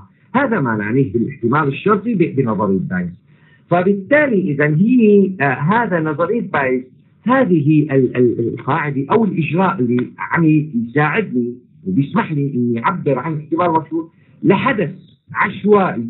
ما بعرف يعني ما مرتبط بغير عشوائي ممكن يوقع ها؟ أه بحيث نربطه باحتمال احتمال وقوع حدث A باحتمال وقوع حدث B آخر. بمعنى آخر أنه لحساب احتمال وقوع الحدث A فلازم على أساس ارتباطه مع حدث B بشكل بسيط. فبنفترض أنه عندي أنا مثلا الحدث A وب حدثين وب احتماله لا يساوي الصفر. يعني ما حدث مستحيل. لنفترض عندي أنا مجموعة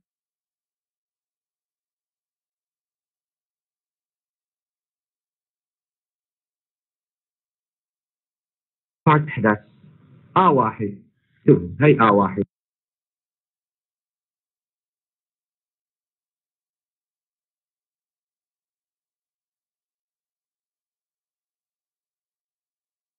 مشان على اذا عندي أنا المجموعة سي. مجموعة عفوا إس. هي مجموعة إس. مجموعة. آه. بي. عفوا آه آه واحد. آه اثنين. هاي آه ثلاثة. وهم يلاحظوا ما عم يطلع الحدث بي لاحظوا هالحدث بي عم يتقاطع مع جميع هالأحداث. آ 1 آ 2 آ 3 آ 4 وهو حدث من ضمن سي. اذا هو جزء كمان ضمن المربع. ها ويتقاطع مع آ واحد بهي لاحظوا إذا عم يتقاطع هون مع آ واحد. عم يتقاطع مع آ 2 كمان بكل هي. هيك؟ عم يتقاطع مع آ 3 بهي هون إذا عمليا عمليا أنا إذا بدي شوف إذا بدي أعمل أنا لنفترض ان هالحدث طبعا ب هو من فضائل العين ب هو المنطقة المظلله يتقاطع مع حدث A1 A2 A3 A4 و A5 طيب هلأ إذا بدي أنا أحسب إذا ب ب إذا بدي اشوفها أنا لا البي هي ب ها هون هي ب ها. كيف بدي أحسب يعني شوف هالمنطقة المظللة من خلال من خلال آه الأحداث الأخرى. A1 A2 A3 فهي عبارة عن اجتماع يعني ب مع المناطق المتقاطعة ها بين A1 وA2 وA3 وA4 50 إذا إيش تقاطع ب إذا هي تقاطع يعني بتتقاطع مع ب بتتقاطع من خلال. إذا ب بتقاطع مع واحد ب بتقاطع مع اثنين ب بتقاطع مع ثلاثة ب بتقاطع مع أربعة بتقاطع مع خمسة إذا إيش تقاطع ب شو بيساوي؟ من كان عم يقول آ واحد تقاطع ب آه واحد. إذا هالمنطقة الصغيرة مجموع إلى المنطقة الصغيرة الثانية. الثالثة الرابعة عم تشكلني اذا هل المجموعات الأجزاء من A1 A2 A3 اللي هي جزء من S هي التي تشكل B وبالتالي اذا B هي مجموعة مجموعة اجتماع أو تقاطع هذه المناطق المختلفة من A1 A2 A3 اذا إيش تقاطع ب؟ بتساوي آ واحد تقاطع ب اجتماع طبعا زائد اجتماع زائد هون آ 2 تقاطع ب اجتماع 3 تقاطع ب وهكذا حتى ا 5 تقاطع ب إذا بما إنه الأحداث ا 1 ا 2 ا 3 ا 4 ا 5 متنافين فالأحداث إذا ب تقاطع آ اي اي من 1 ل 50 متنافي أيضا. وبالتالي أنا احتمال ب بالحالي احتمال تقاطع شو بيساوي؟ بيساوي إذا احتمال الأول زائد احتمال الثاني زائد احتمال الثالث إذا. فإذا احتمال ب بشكل عام بيساوي احتمال ا واحد تقاطع ب واحد ا واحد. تقاطع ب زائد احتمال ا اثنين تقاطع ب اثنين زائد لا وصل ل ا خمسه تقاطع ب وبالتالي اذا إذا استخدمنا علاقة الاحتمال الشرطي فلازم يكون إذا احتمال تقاطع شو يساوي؟ احتمال تقاطع من نظريه الاحتمال. اللي نحن أخذناها سابقا بالاحتمال. أنا ما نفصل لكم إياها وإنما فقط التذكير هنا. اذا احتمال ب علما أنه ا واحد قد قطع قد وقع ضرب احتمال آ واحد. زائد احتمال ب علما إنه آ اثنين قد وقع يعني المنطقة اللي جزء من آ اثنين قد وقع ضرب احتمال آ اثنين. زائد احتمال ب علما آ 3 قد وقع مضروبة باحتمال آ 3 وهكذا حتى نوصل لاحتمال ب مع العلم أن آ 5 قد وقع ضرب احتمال آ 5 هذا يشكل بشكل بسيط اذا إذا أنا بدي اقراها هون آه. احتمال ا واحد بشرط وقوع ب أو علما أن ب قد وقع. ضرب احتمال ب يساوي احتمال ا تقاطع ب بيساوي احتمال هذا نفسه ها بالجهه المقابله إلى احتمال ب بشرط ا قد وقع ضرب احتمالها بمعنى آخر بمعنى آخر هذا بشكل يعني بشكل عكسي. هلا إذا وقع الأول وأثر على الثاني فإذا وقع الثاني بيأثر على الأول. فلذلك إذا احتمال الأول بشرط وقوع الثاني ها مضروب باحتمال الثاني يساوي احتمال الثاني بشرط وقوع الأول مضروب باحتمال الأول. إجباري لأنه إذا الأول مرتبط بالثاني الثاني مرتبط بالأول فببساطة إذا هذا نقرأه إذا جدال احتمال الشرطي لأ بمعرفة احتمال ب بعد احتمال حدوث أ وب معا. هذا بيساوي إذا جدال احتمال الشرطي هذا كيف نقرأه. هذا اللي بيهمني وهذا اللي أنا بدي إياه بالتطبيق. كيف بنوصل للحل؟ أنا هذا بالإحصاء بتاخذوا الأهم. أما هون عندنا بنظر القرار أنا بيهمني كيف تطبقوا ها؟ علما إنه بتمنى تكونوا إنه كنتوا ولكن مسألة هون. عمليا اذا احتمال احتمال ا احتمال الاحتمال الشرطي لأ. بمعرفة الحدث ب احتمال الشرطي لأ. بمعرفة الحدث ب يساوي احتمال ب بمعرفة أ. مضروب احتمال أ. على مقسوم على احتمال ب هذا اللي بيهمنا بالتطبيق. هذا بهمنا تماما بالتطبيق. طيب. السنة الماضية جبت لهم عن مسألة ال إذا ماني غلطان عن الأسهم بالبورصة. راح أعطيكم إياها بكرة بال إن شاء الله بالمحاضرة الأخيرة. الأسهم بالبورصة يعني كانت جبت لهم مثال عليها. بجيب لكم بعطيكم إياها. مثال بسيط عن نظرية بايز.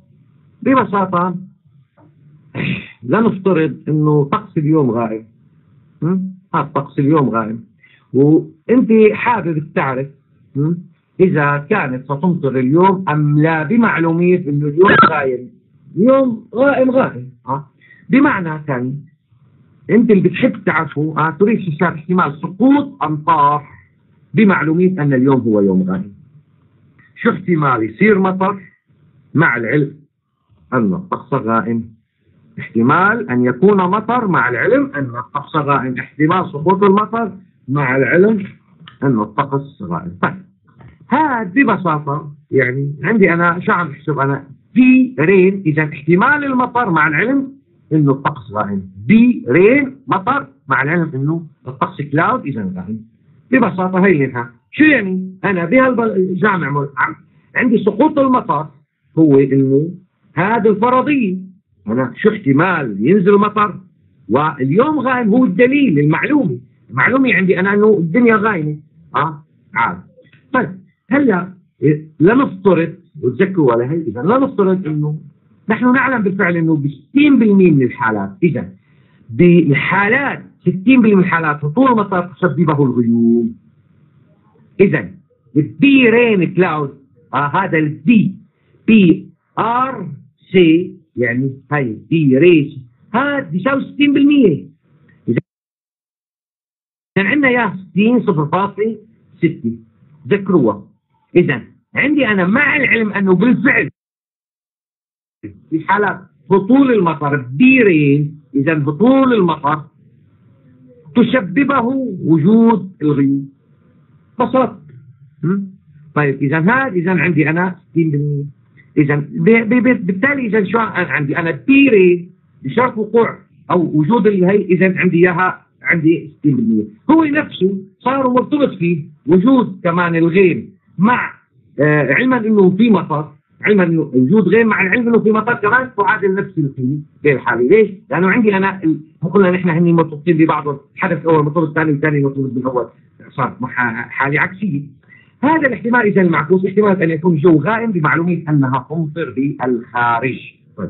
عاد هلا إذا تتمي للمثال إذا علمنا أنه 75% بفرض آخر يعني أنه من أيام هالشهر هذا بتكون غائمة إذا 75 ها احتمال أنه تكون بالشهر كامل P cloud P cloud بتساوي 0.75 ولكن أيضا لدينا أنها تمطر 15 يوم من أصل 30 إذا عندي أنا بالشهر هذا من أصل 30 15 على 30 0.5 ها إذا ال P rain كمان إذا بتساوي قديش؟ 0.5 هلأ إذا عندي أنا كل المعلومات اللي بتخليني أعرف شو احتمال يصير مطر مع العلم إنه الجو غائم احتمال ما احتمال أن يكون هناك مطر علما أن الجو غائم. طيب احتمال أن يكون مطر. مع العلم أنه الجو غائم يساوي احتمال أن يكون. قلنا نحن بس. هاي اللي رجعنا بس طبقناها لا المعادلة البسيطة. احتمال أ بشرط ب نحن ما بيهمني هلا ا ب من نفسها حسب الحل اللي نحن فيها إذا يساوي احتمال ب بشرط وقوع ا ضرب احتمال ا على احتمال ب هي بدي أنا أفهمها وبالتالي بدي أنا امثلها على الحل اللي أنا فيها هلا إذا شو احتمال؟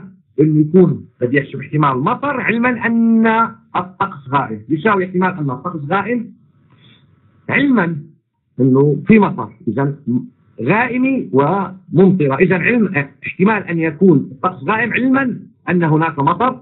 مضروب باحتمال المطر على احتمال أن تكون غائمه طيب احتمال أن يكون غائم علما أنه مطر. قلنا نحن بيساوي 0.6 آه هي رين مع العلم أنه غائم آه. 0.6 أخذناها 0.6 مع ضرب احتمال ضرب أن يكون يعني ماطرة. احتمال مطر وأنها تمطر في العاده 15 يوم من 30 إذا 0.5 ضرب 0.5 هاي احتمال إنه رين 0.5 على احتمال إنه يكون غائم. علما انه 75 من أيام هذا الشهر تكون غائم احتمال P cloud cloud اذا 0.75 إذا 0.65 احتمال أن يكون غائما علما أنه ماطر غائم وهي شغلة طبيعية لازم تكون محققه يعني. آه ما ما بصير يكون يعني آه آه إذا احتمال إنه يكون غائم مع العلم إنه مطر. مضروب باحتمال إنه مطر اللي هي 30 15 يوم من 30 50 على احتمال إنه يكون غائم 0.75 إذا بيساوي النتيجة الإجمالي أن يكون هناك مطر علما أنها غائمة بيساوي 0.44% إذا احتمال هناك احتمالي 40% أن تسقط أن تسقط الأمطار إذا كان اليوم غائم. هذا أنا ممكن إذا أعطيكم إذا بدي أنا النتيجة هلا هون هيك. أنا بدي بقول لكم أنا ما هو احتمال أن تسقط الأمطار إذا كان اليوم غائما. هي السؤال بدي أجيب لكم إذا هذا. ها؟ احتمال طبعا بدون ما تكون ال 40 هي رح تطلع عندكم اختاروها يعني بالنهاية إذا إجت نفس الأرقام. آه احتمال أن تسقط الأمطار إذا كان اليوم غائما تكون واضحة بالسؤال هون فقط تتمي للشرح يعني أما بالامتحان تكون واضحة السؤال واضح تماما. أوكي؟ طيب هلا هي مثال أول بسيط. هلا خلينا نرجع على شجره القرار. شجره القرار يعني معلش طبعا. إيه طبعا طبعا دائما. ها المكمل عكسها بالتأكيد. برافو مثل طيب. إذا عمليا هلأ إذا نأخذ مثال على مثل ما بدكم. بدكم تقرأون السلايدات. في بس بتقرأون السلايدات بكفي. بتقرأون السلايدات بكفي. بتحبوا ترجعوا تفسروا شوية بعض يعني الإبهارات الموجود بالكتاب. ما ما, ما في أي مشكلة. بس الموجود هون بكفي. إذا حبيته يعني. okay. طيب. هلا. آه، إحدى الشركات عندها رغبة ترغب إحدى الشركات باتخاذ قرار. طبعا عليها عشرة قرارها آه، ترغب باتخاذ قرار بشأن تصنيع أحد المنتجات الجديدة والذي يتوقع أن يستمر الطلب عليه من سنوات. هلا هي أنا هون في بس نكش صغير. أحيانا ممكن ننساها وأحيانا يعني آه يعني أحيانا لأنه بالشيء بالمصفوفه القرار العاديه بالجدول ما بكون حاططة. فبدكم تنتبهوا لها كلمة ثمان سنوات. هلا عادة إذا كنت أنا بالقيمه المتوقعة العاديه ما بنلفت النظر لأنه عادة بنحسب القيمه المتوقعة لمدة فترة زمنية واحدة، هي الفترة قد تكون لمدة عام. فما بنحسب بحساب إنه لا قديش عدد السنوات اللي بده يستمر فيه الطلب. فنحسب القيمة المتوقعة نحسبها لمدة فترة واحدة. فترة قد تكون شهر قد تكون سنة. أما هون عم أعطيها واضحة وصريحة. يطلب إذا يتوقع أن يكون الطلب عليه لمدة من سنوات. نزلنا منتج راح يستمر بالسوق ثمان سنوات. طيب من خلال إقامة مصنع صغير متوسط الحجم أو مصنع صغير أو تعاقد إذا أنا عندي ثلاث احتمالات. هي ثلاث خيارات ثلاث بدائل.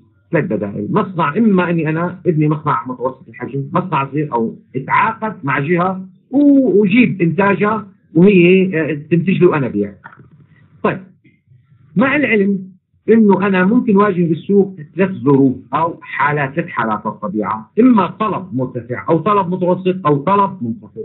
احتمال أن يكون الطلب مرتفع 0.5 احتمال الطلب متوسط 0.3 احتمال الطلب منخفض 0.2 هلا بمثل هي الحالة ببساطة أنا فيني احسبها من خلال يعني بدون ما أحسب شجره قرار أو بدون أعتمد شجره قرار اتخاذ قرار موصي فيني احسبها عن طريق الجدول يمكن متوقعه مباشرة ولكن مع الاخذ بعين الاعتبار كمان في من سنوات.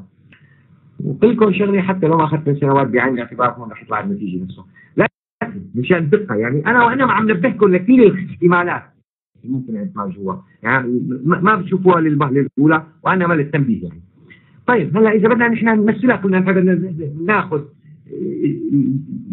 شجرة القرار بسيطة وشجرة القرار معقده هاي الشجرة إذا نحن بدنا نمثلها عندنا نحن عندي أنا إذا عندي ثلاث سيارات مصنع صغير قرار هون إذا برسم أنا هي عملته قرار قرار نهائي. شو بدي أختار؟ مصنع؟ ابني مصنع صغير ولا مصنع متوسط ولا مصنع يتعاقد مع آه، فرع آخر؟ إذا عندي اما ابني مصنع متوسط أو مصنع صغير أو يتعاقد طيب هي الثلاث بدائل اللي عندي إياهم؟ طيب وعندي الحالات طبيعة إما أن يكون طلب مرتفع أو طلب متوسط أو طلب منخفض. طيب والطلب المرتفع إذا بنهايته أنا عم يجيني من 1200 طلب المتوسط بنزل ونص على المتوسط 700 أو راح يجيني ناقص 300 في حال الطلب المنخفض. هلأ احتمال يكون طلب مرتفع 5 0.5 إذا 50% قديش مدته بده يستمر طلب مرتفع لمدة من سنوات. أو يكون كمان. يعني الطلب متوسط وباحتمال 0.3 من سنوات أو طلب منخفض لمدة من سنوات باحتمال 0.2 إذا أنا فيني أحسبه لهدول بطريقة الجدول ولكن يعني جزأناها بطريقة هي بس حتى نوضح شيء في القرآن. إذا أنا بعد ما حطيت كل يعني إنقلت يعني هل هل البيانات الموجودة إلى صارت واضحة عند الشجرة ويعني البدائل وحالات الطبيعة واحتمال حدوث كل حالة من حالات الطبيعة والمدة التي يستمر فيها وأيضا العائد المنتظر من كل حالة من حالات الطبيعة لكل بديل. إذا في لكل بديل عندي ثلاث حالات والعائد المنتظر فيه. طيب هلا شو بعمل؟ بعمل ببساطة إذا للحالة الأولى. لا آه مثلا مصنع متوسط.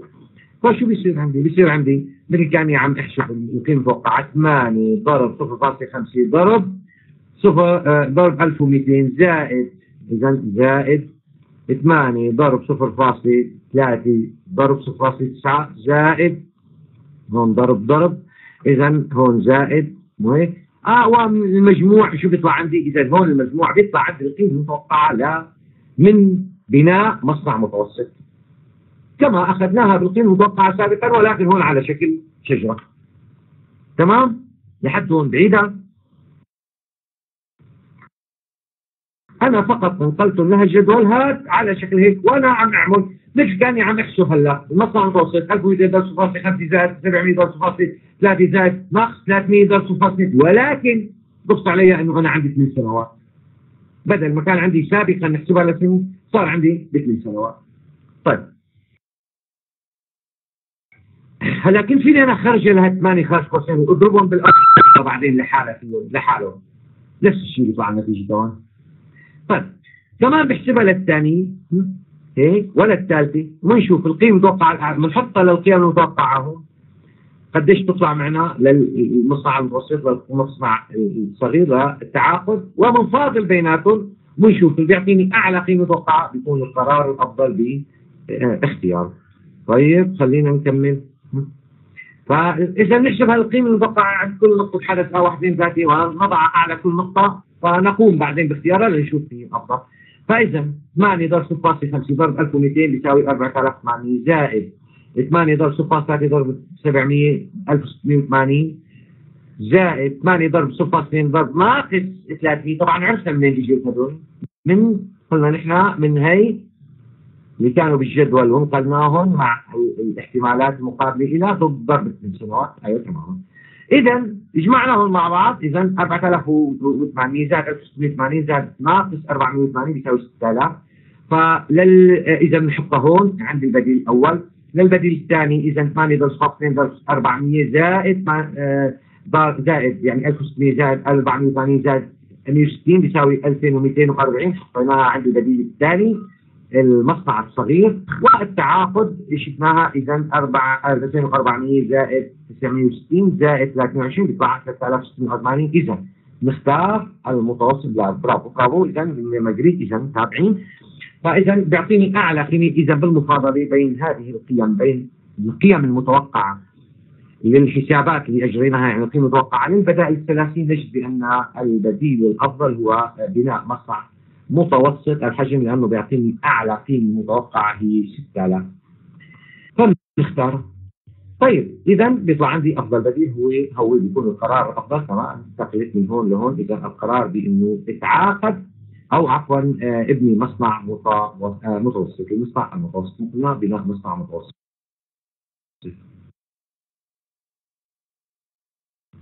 طيب هي ببساطة يعني نموذج بسيط. له يعني بسيط لشاشة القرار حط كلمة برايس كان المفروض يشيلها لهي كلمة برايس شوي. طيب هلا القيمة النقدية للمعلومات الإضافية، القيمة النقدية للمعلومات الإضافية ببساطة يعني عندي بتعتمد آه، قيمة المعلومات فبنحسبها على شو؟ على نتيجة القرار على النتيجة المتوقعة. يعني نحن بهمنا النتيجة بالنهاية. المعلومات ببساطة شو؟ مرادفة لشو؟ للقيمة لقيمة القرار. ما فيني أنا أقول إنه في معلومة كويسة إذا ما كان إلى نتيجة كويسة. يعني بمعنى آخر إنه تميز المعلومة مرتبط بشو؟ بالقيمة اللي بتعطيني إياها المعلومة. يعني إذا واحد أعطاني قال يعني بدي أخبار لك عندي كثير يعني الأخبار هي معلومات وبالأخير طلعت مش ما إلى قيمة. بينما خبرية صغيرة ولا كانت هي بس إلى قيمة كبيرة. هي المعلومة تتميز من خلال قيمتها. الاستخدام يعطيها هي القيمة ها لها المعلومة ها. فما فيني أعرف أنا كمان ميز المعلومة قبل استخدامها لأن استخدامها بيمنحها يا هي المعلومة القيمة فلذلك أثناء عملية اتخاذ القرار وصول معلومات إضافية هذا بيخليني إجباري أرجع شوي للوراء راجع احتمالات الأحداث السابقة المرتبطة باحتمال وقوع الأحداث الثانية. مثلا أنا عم أمشي بقرار معين وكان عندي حاطط فرضيات معينة احتمال حدوث هذا الأمر. هذا مثلا 30% احتمال وقوع الآخر 25% احتمال كذا. وعم امشي فيه بعد 15 يوم من هيك إجاني معلومات إضافية. هي فادت إنه والله رح يصير تغيير بالاسعار رح يصير تبديل بالوقت رح يصير. على ضوء المعلومات الجديدة أنا بدي أعيد حساب المعلومات الاحتمالات السابقة. إجباري وإلا ليش أنا يعني عم بسعى وراء هالمعلومات الجديدة؟ إذا ما هي مفيدة حقيقة، إذا تركتي احتمالات السابقة على ما هي عليه بدي يكون مخطئ. ولذلك من الاهميه ما كان إني أنا أقوم بتعديله. إذا يجب بهالحاله قم بمراجعة الاحتمالات الأولية أو الاحتمالات البدائية. نستخدم لهالمفهوم هذا إذا ببساطة نظرية الاحتمال الشرطي ونظرية بايز. نظرية بايز شو عم تعتمد؟ عم تعتمد إنه ببساطة على شو؟ أنا هاي المعلومة إذا مرادفي لقيمة القرار اللي بيبنى على أساس فلذلك إذا آه، هل هالمعلومة هو عفوا. ليش هيك معه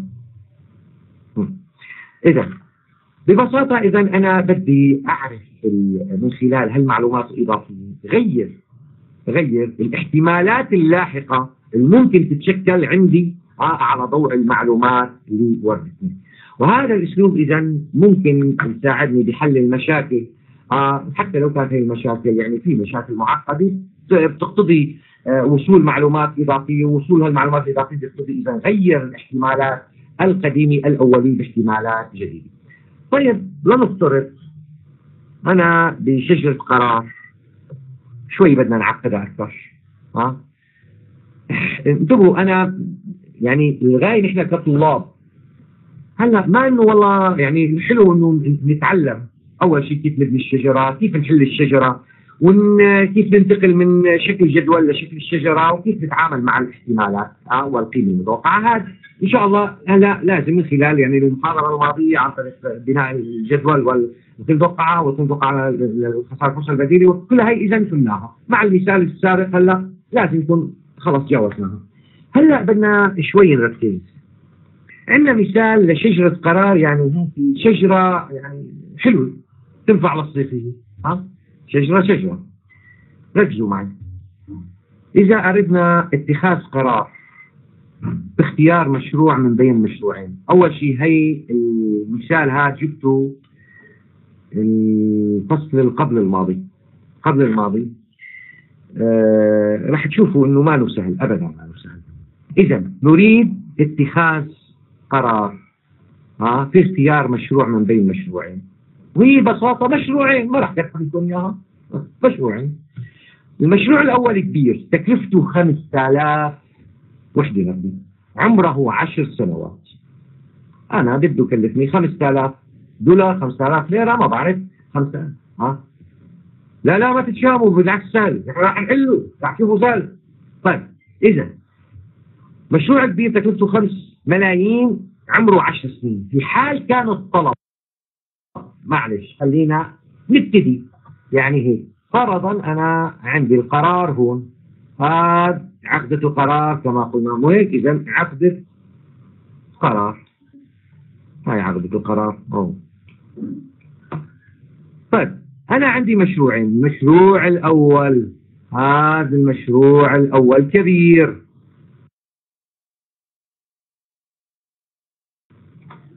تكلفته 5000 هلا هذا المشروع إذا كان الطلب مرتفع إذا عنده حاكم مرتفع طلب منخفض. إذا هون مرتفع.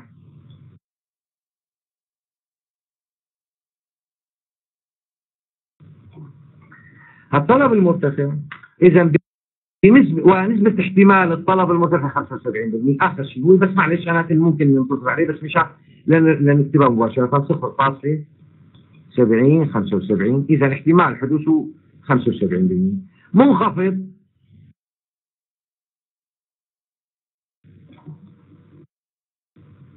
خمسة وعشرين بالمية احتمال حدوثه. طيب. لحد هون الأمور تمام التمام عال العال بحقق لي عائد إذا كان الطلب مرتفع هذا المشروع الكبير تكلفته 5000 ال 5000 هلا ما بدنا اياها ما بنحتاجها حاليا. لمدة 10 سنوات كمان ما محتاجينها حاليا. في حال كان الطلب مرتفع إذا فإنه يحقق عائد 10 مليون ليرة. إذا هون السنة يحقق أنا إذا مليون ليرة. وفي حال كان الطلب مخلص فإنه يحقق عائد قدره 300 إذا هون راح يكون عندي 300 تمام؟ 300 إذا بنسبة احتمال كما قلنا في حال حدوث نسبة حدوث طلب المنخفض 75 نسبة حدوث طلب المنخفض 25 أنا سبقتها بس مشان تخطيطهم يعني طيب والثاني الثاني إذا عندي أنا مشروع صغير. بالصغير عندي هذا مشروع الثاني إذا هذا اللي صار عندي الثاني. تكلفته مليونين عمره 10 سنوات.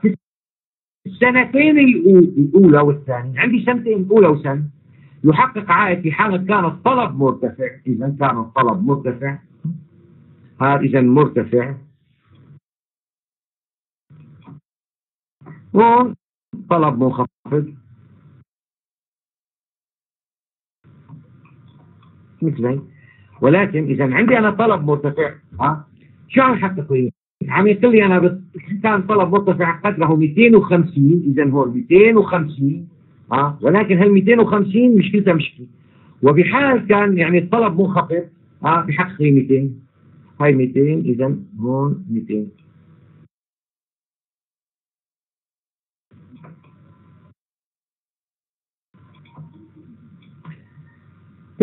هلا اذا بحال الطلب المنخفض عم يحقق لي 200 لكن بحال كان الطلب مرتفع بيحقق لي 250 ف طيب هال 250 مش بس اجازه عندي مشكلة ثانية. ونريد بعد سنتين. نريد بعد سنتين. هون مشكلة. نريد بعد سنتين القيام بتطويره ويستمر العمل بعد التطوير من سنوات.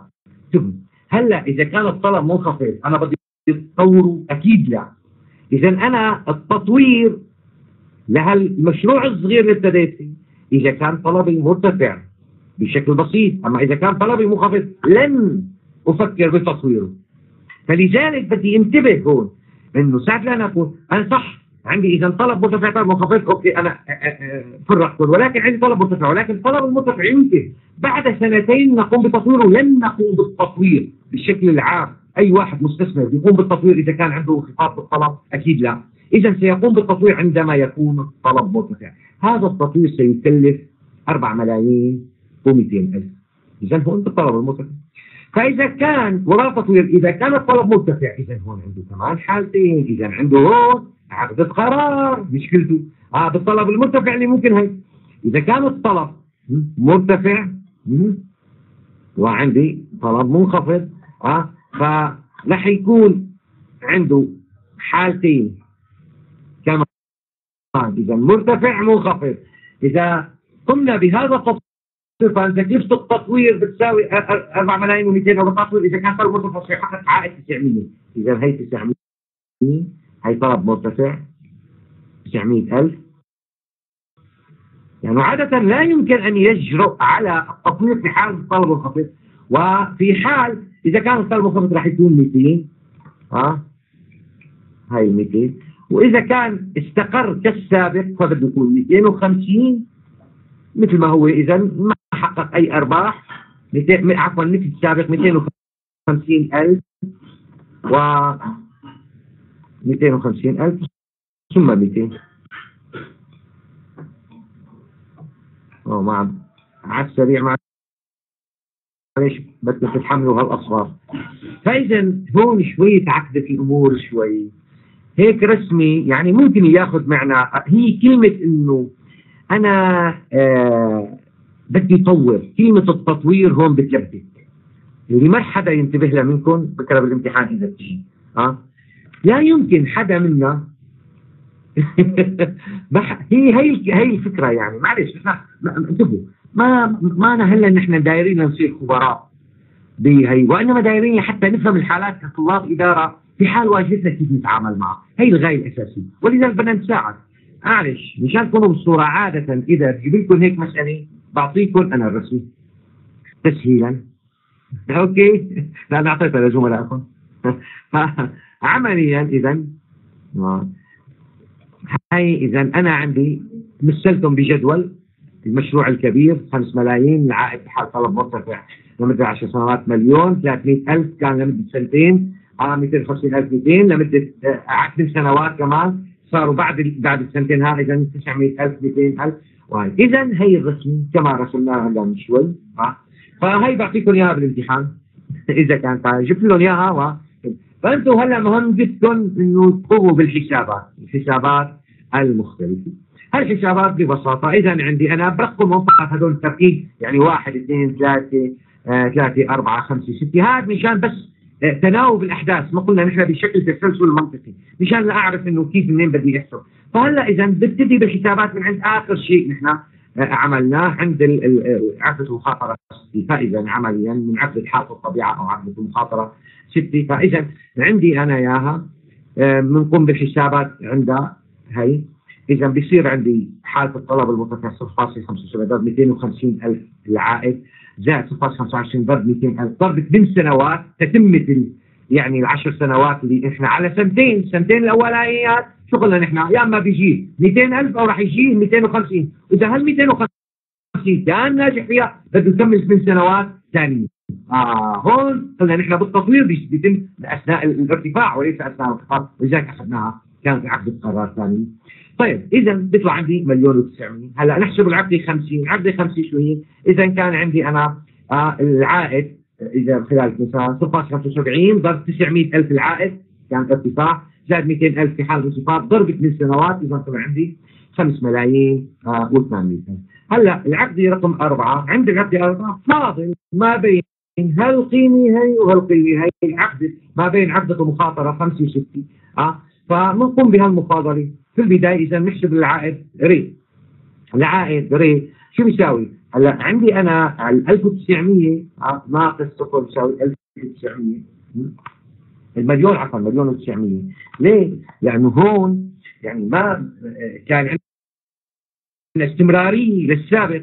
ما كان عندي أي إضافات 4 ملايين و200 ألف فقط لكن أنا ساعة اللي أنا طورت طورت وصار عندي عوائد إضافية فعندي إذا 5 ملايين بدي اشيل منها ال 200 4 ملايين و200 ألف هذول اللي كلفوني بتطوير المشروع فبيطلع عندي مليون و600 عند المفاضلة ما بين المليون و900 وال 1600 فبالتأكيد راح يطلع عندي ال 1900 ويكون هو العائد الأكبر وبالتالي أنا بنشوف إنه ليس هناك جدوى من تطوير المشروع إذا القرار أفضل هو عدم التطوير إذا بحط أنا هون عند الهي إذا المليون و900 عند الاربعه طيب هلا بالعقدة المخاطرة عقد العقد الذاتي عند الذاتي، الذاتي بدي أنا فاضل ما بين عقدة القرار النتيجة عند عقدة القرار وعند القيمة اللي أنا حسبتها آه، اللي بدي أحسبها مثلا بحال عدم التطوير 200000 فاذا ريت ذاتي شو بتساوي؟ اذا 0.75 ضرب 25000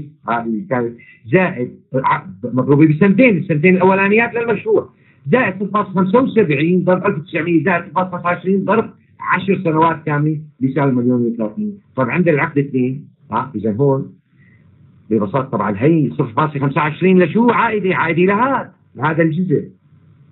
هون هذا إذا هون عائدي للجزء لمدة 10 سنوات إحنا ما طورنا. كان عندي خيار وهذا للجزء اللي طورنا فيه كان لمدة هون إذا 10 سنوات هون كان عندي لمدة سنتين اللي جرى بعد منهم التطوير.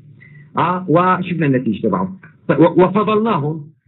فهلا عندي عند العقد اثنين هي العقد اثنين ببساطة هي عبارة عن عقد كمان حال الطبيعه بنشوف بالهي إذا 0.75 حال الطبيعه إذا عقد مخاطرة. عقد مخاطرة إذا ال- ال- ال- ال- ال- الاحتمال ضرب آه، العائد. إذا 0.75 ضرب مليون زائد 0.25 ضرب. 300 طبعا ضرب 10 سنوات كامله لأن هون المشروع كما قلنا الكبير لمدة 10 سنوات كامله ما- بدنا نطوره هذا. طيب ليش؟ ببساطة. اذا بيطلع عندي اذا 2 ملايين كذا. هلأ من هل هل العقد ما بين بدي أنا فاضل ما بين اثنين؟ آه عند العقد واحد بدي فاضل ما بين العقد اثنين والعقد آه ثلاثة. فاذا عندي عندي ري ثلاثة. ري ثلاثة صار اذا مليونين ثلاثة ناقص المليون. اللي كانت عندي إياها تكاليف عندي مليون 30 وعندي العقد اثنين اذا 8 ملايين ناقص 5 ملايين. طبعا المليون الأولى شو هي هي؟ المليون الأولى تتذكروها إذا كانت هي تكلفة التطوير. لا خلينا نرجع لها تكلفة التطوير للمشروع الأول ببدايته. مو قلنا نحن لا مليونين كانت. آه، ليش طيب، مليونين. لازم تكون ناقص مليونين. أوكي طيب. فاذا من ربما في خطأ بالحساب ما ماني منتبه هلأ. اذا وبالعقد خمسه اذا شلنا نحن آه شو الخمس ملايين بتطوير المشروع الأول الكبير. فعندها حساب عند العقد واحد ها اذا القيمة الأعلى ما بين المليونين 3 ملايين عفوا آه أو هي بالن- بالنتيجة هو راح يطلع عندي 3 ملايين 25 المفاضلة بين طبعا بين الفارق بين العائد اللي بيحقق إياه المشروع الكبير اللي هو 8 ملايين و5 8 ملايين و250 ألف من- منقوصا منه التكاليف 5 ملايين. وما بين العائد اللي يتحقق عندي عند العقد من المشروع الصغير؟ مع تطويره مع شيل أو مع يعني حذف التكاليف الإجمالية منه. اذا هو الفارق ما بين إذا المليونين و300 ناقص مليون من ملايين و250 ناقص 5 ملايين. فراح يطلع عندي اذا الفارق البسيط بيناتهم هو 30 الاعلى يعني 3 ملايين و25 آه 3 ملايين و250 الف هو العائد المتحقق أكبر. وبالتالي عندي أنا ال- المشروع الأفضل هو المشروع الكبير آه للإنجاز. تعبت يبدو على الهي أنا فتبعذروا لي لسه ماني خالص من الجريب فا okay معلش. هلا على مهلكم ارجعوا اقرأوها بكرة إذا ما لهي برجع بعد لكم اياها ما في أي مشكلة يعني ولكن يعني أنا تعبت على بس في باقي شغله بسيطة صغيرة. بس شغله بسيطه فقط فقط حسابات. حسابات كما ابتدأنا نعود. إذا نبتدئ بهالعقد. هون إذا عقدة مخاطرة. بنضربهم مع بعض ونجمعهم نحطهم هون. بنضربهم مع بعض الاثنين ونجمعهم نحطهم هون. بنفاضل بين القيمة العليا والقيمة العليا هون. القيمة الأعلى بنحطها هون. بنفاضل بين هذه القيمة والقيمة المتأتية عن نتيجة ضرب آه، الحالة النهائية. وبنحط القيمة عند العقد الثلاثي ثم نفاضل ما بين كمان هون حسابها عند العقد الاثنين آه عندها حسابها آه بنضربها ببعضها بشكل قيمة متوقعة بسيطة إذا الاحتمال ضرب ال- العائد. ونفاضل بين القيمتين مع إنزال أو مع حذف ما بدنا نقول حذف مع إنزال آه التكاليف.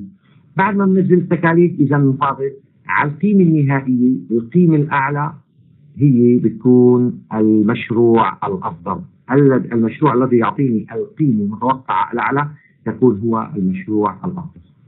طيب. في بس بسيطة شغلة كثير بسيطة هون. يعني ساعات أنا بيجيني احتمالات جديدة أو معلومات إضافية. بدي أعدل كما قلنا المعلومات القديمة. ما بفق عليها لأنه إذا بقيت عليها رح يصير أخطاء. بتعديل المعلومات أو بورود معلومات وتعديل الاحتمالات سينتج لدينا نتائج أفضل بالتأكيد آه ونتائج أخرى. من هون إذا التحليل هذا في الاحتمالات المسبقه حال الطبيعه بالتحليل القبلي أو المسبق فإذا آه، بناء على التحليل السابق لازم نقرر اتخاذ القرار الأمثل الذي يقترحه التحليل أو الانتظار أو البحث عن معلومات إضافية. بمعنى يا إما تكمل على أساس المعلومات السابقة ووصل لنتائج أو مع ورود معلومات إضافية بدي أعدل المعلومات السابقة آه وبده يتغير عندي النتيجة وهي الشيء الطبيعي أثناء اتخاذ القرار. إذا التحليل الجديد البحث عن معلومات إضافية يمكن يعني من خلال مثلا البحث بالسوق أنا يجدني معلومات من خلال الاستبيانات المصطلحات اللي أنا بقدمها يعني بعملها مع المستهلكين كمان تجيني معلومات من خلال دراسة معينه المنتج أو طرق كلها ممكن تجيني معلومات إضافية هي المعلومات الاضافيه بتساعدني بإنه يصحح الاحتمالات نقح الاحتمالات السابقة باستخدام قانون بايز فلذلك إذا أنا ممكن إذا أستخدم يعني هون ادمج آه، الاحتمالات المصححة المنقحه بنسميها الاحتمالات البعديه مع الاحتمالات السابقة آه ولحتى ينتج يعني هالمعلومات الصحيحة المنقحة الجديدة. طيب هذا مثال بسيط كمان اجى بإحدى الدورات. هذا لا اجى لزملائكم جبت لهم اياه لزملائكم بالبي آي تي تقنيه المعلومات. لا هذا المثال ما جبته أنتم لا جبتوا بتقنيه المعلومات. بس بسيط بس اسهل هذا لأنه بعثنا أنتم شاطرين جبت لكم أصعب وهم جبتوا لهم اسهل عندي أنا مصنع من المصانع. يقوم بإنتاج سلعة ما. هل مصنع فيه ثلاث إيه لا لا أنتم سهلين. هل طيب بدي أجيب لكم أنا هالسنة هذه اسهل لكم آه والأصعب اليوم. لنفترض إذا عندي أنا مصنع هذا المصنع هذا مصنعي.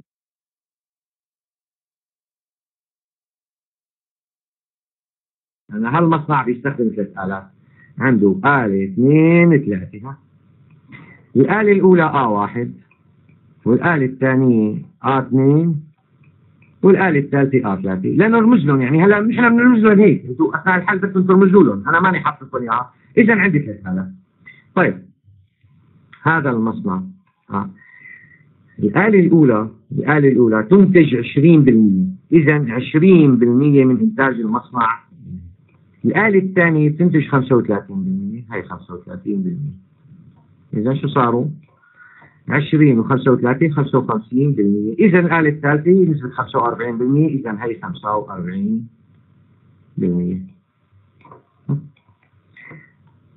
إذا كان نسبة الإنتاج المعيد في الثلاث آلات هي على الترتيب من الآلة الأولى هو 2% 2% معيد شوفوا هون معيد إذا الإنتاج معيد هيك آه من الآلة الثانية 2.5 2 ونص. من الآلة الثالثة 3 بالمئة إذا هون 2 ونص وخمسة عشرين إذا 2 ونص.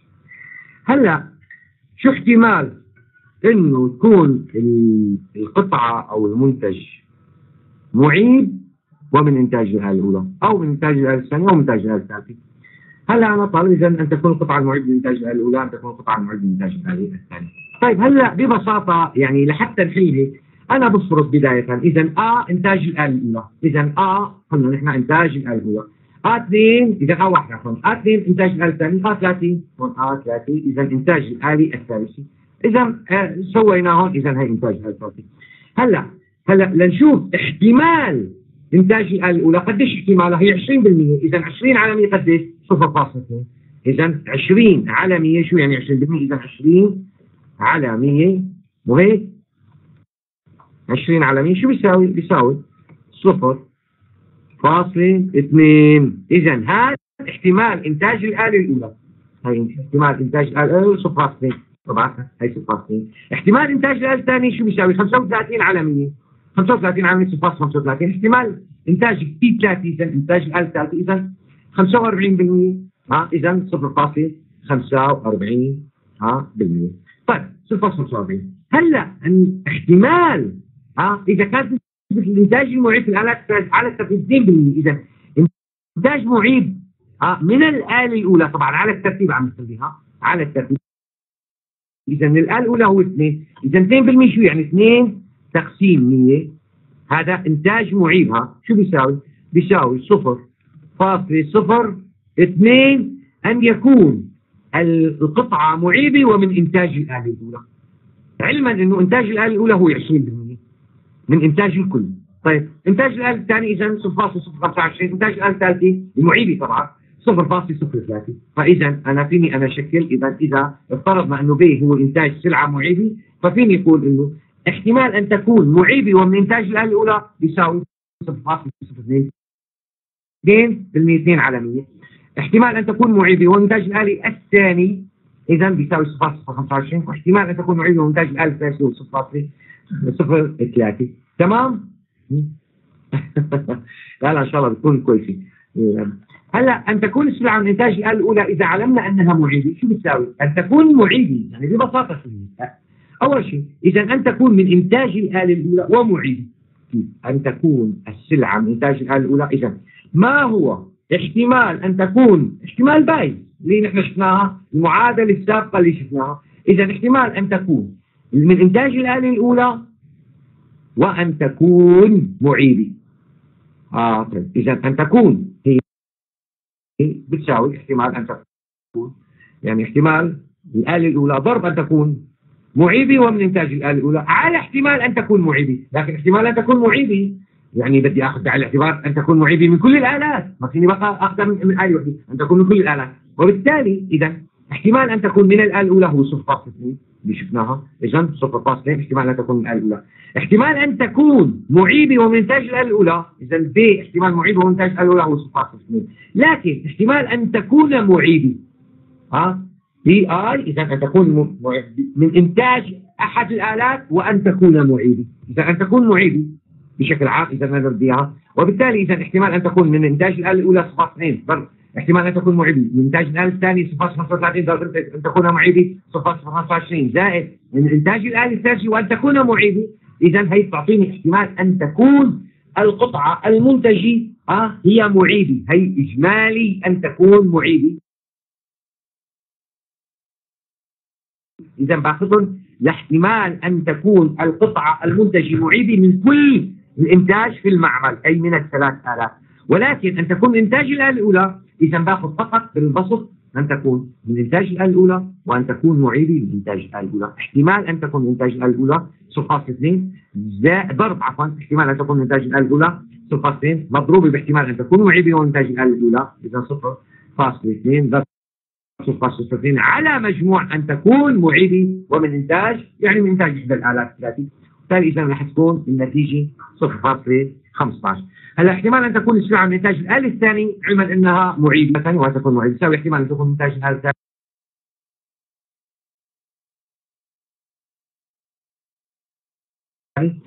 مضروبة احتمال أن تكون معيبة ومن إنتاج الآلة الثانية على احتمال أن تكون منتج ثاني واحتمال أن تكون معيبة من إنتاج الآلة الثانية 0.02 أه؟ وعلى احتمال أن تكون معيبه من إنتاج الأولى 0.2 ضرب 0.02 من احتمال أن تكون معيبه من إنتاج الآلة الثاني واحتمال أن تكون من إنتاج الآلة الثاني 0.35 ضرب احتمال أن تكون معيبه من إنتاج الآلة الثاني 0.25 زائد احتمال أن تكون من إنتاج الآلة الثالثة 0.45 هي هي 0.45 ضرب احتمال أن تكون معيبي ومن إنتاج الآلة الثالثة 0.3 وبالتالي اذا أن تكون من إنتاج الآلة الثاني ستكون 0.3 0.33 هلا إذا قلت لكم شو احتمال أن تكون السلعة من إنتاج الاله الثالثه إذا علمنا أنها معيبه ببساطة رح تطلع أعلى بشوي. ليش؟ لأنه يعني احتمال هون 0.3 وهون آه احتمال إنتاج الاله الثالثة كمان أعلى. 0.45 شو رح يطلع عندي؟ رح يطلع عندي 0.45 اذا 0.45 مضروبة ب 0.03 على هل المضاريب اللي شفناها موجودة نفسها في المقام راح يطلع عندي بحدود تقريبا إذا خلينا نجمع هون صفر 8 15 و 43 49 تقريبا. اذا تقريبا راح يطلع عندنا 0.51 سهله هي قلت لكم جبت لهم لزملائكم شغلة أسهل من عندكم. طيب هالسنة راح أعكسها راح أجيب لكم أنتم السهله وخليهم هم صعبة. أنا بعرفكم شاطرين. الاقتصاد يعني أشطر. إحنا أشطر يا أخي من هذول. فلذلك ما فيني إلا يعني يجيب على مستوى الشطارة. والله السنة ظروف صعبة. كل السنة مكربه السنة كلها إن شاء الله بتخلص بخير و... وكونوا على ثقة كونوا على ثقة رح قدر لكم إياها بالامتحان كونوا على ثقة كاملة. بالامتحان رح قدر على المسألة. كلنا عانينا وكلنا وكهرباء وكورونا و و و ما في ظرف يعني مساعد. لذلك آه، كونوا على ثقة كونوا على ثقة أني رح أكون مقدرها تماما تماما. وتذكروا هالكلام إن شاء الله. في أي سؤال؟ إذا في أي سؤال.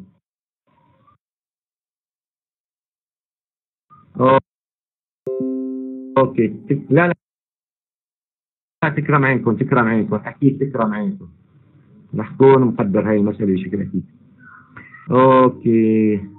يوم طيب إن شاء الله للجميع. كان معنا من البداية وداد وهدى وحنان ومحمد فراس وراما ومجري وعلا ومحمد معاذ. يوم طيب للجميع. ألقاكم بخير إن شاء الله في المحاضرة القادمة.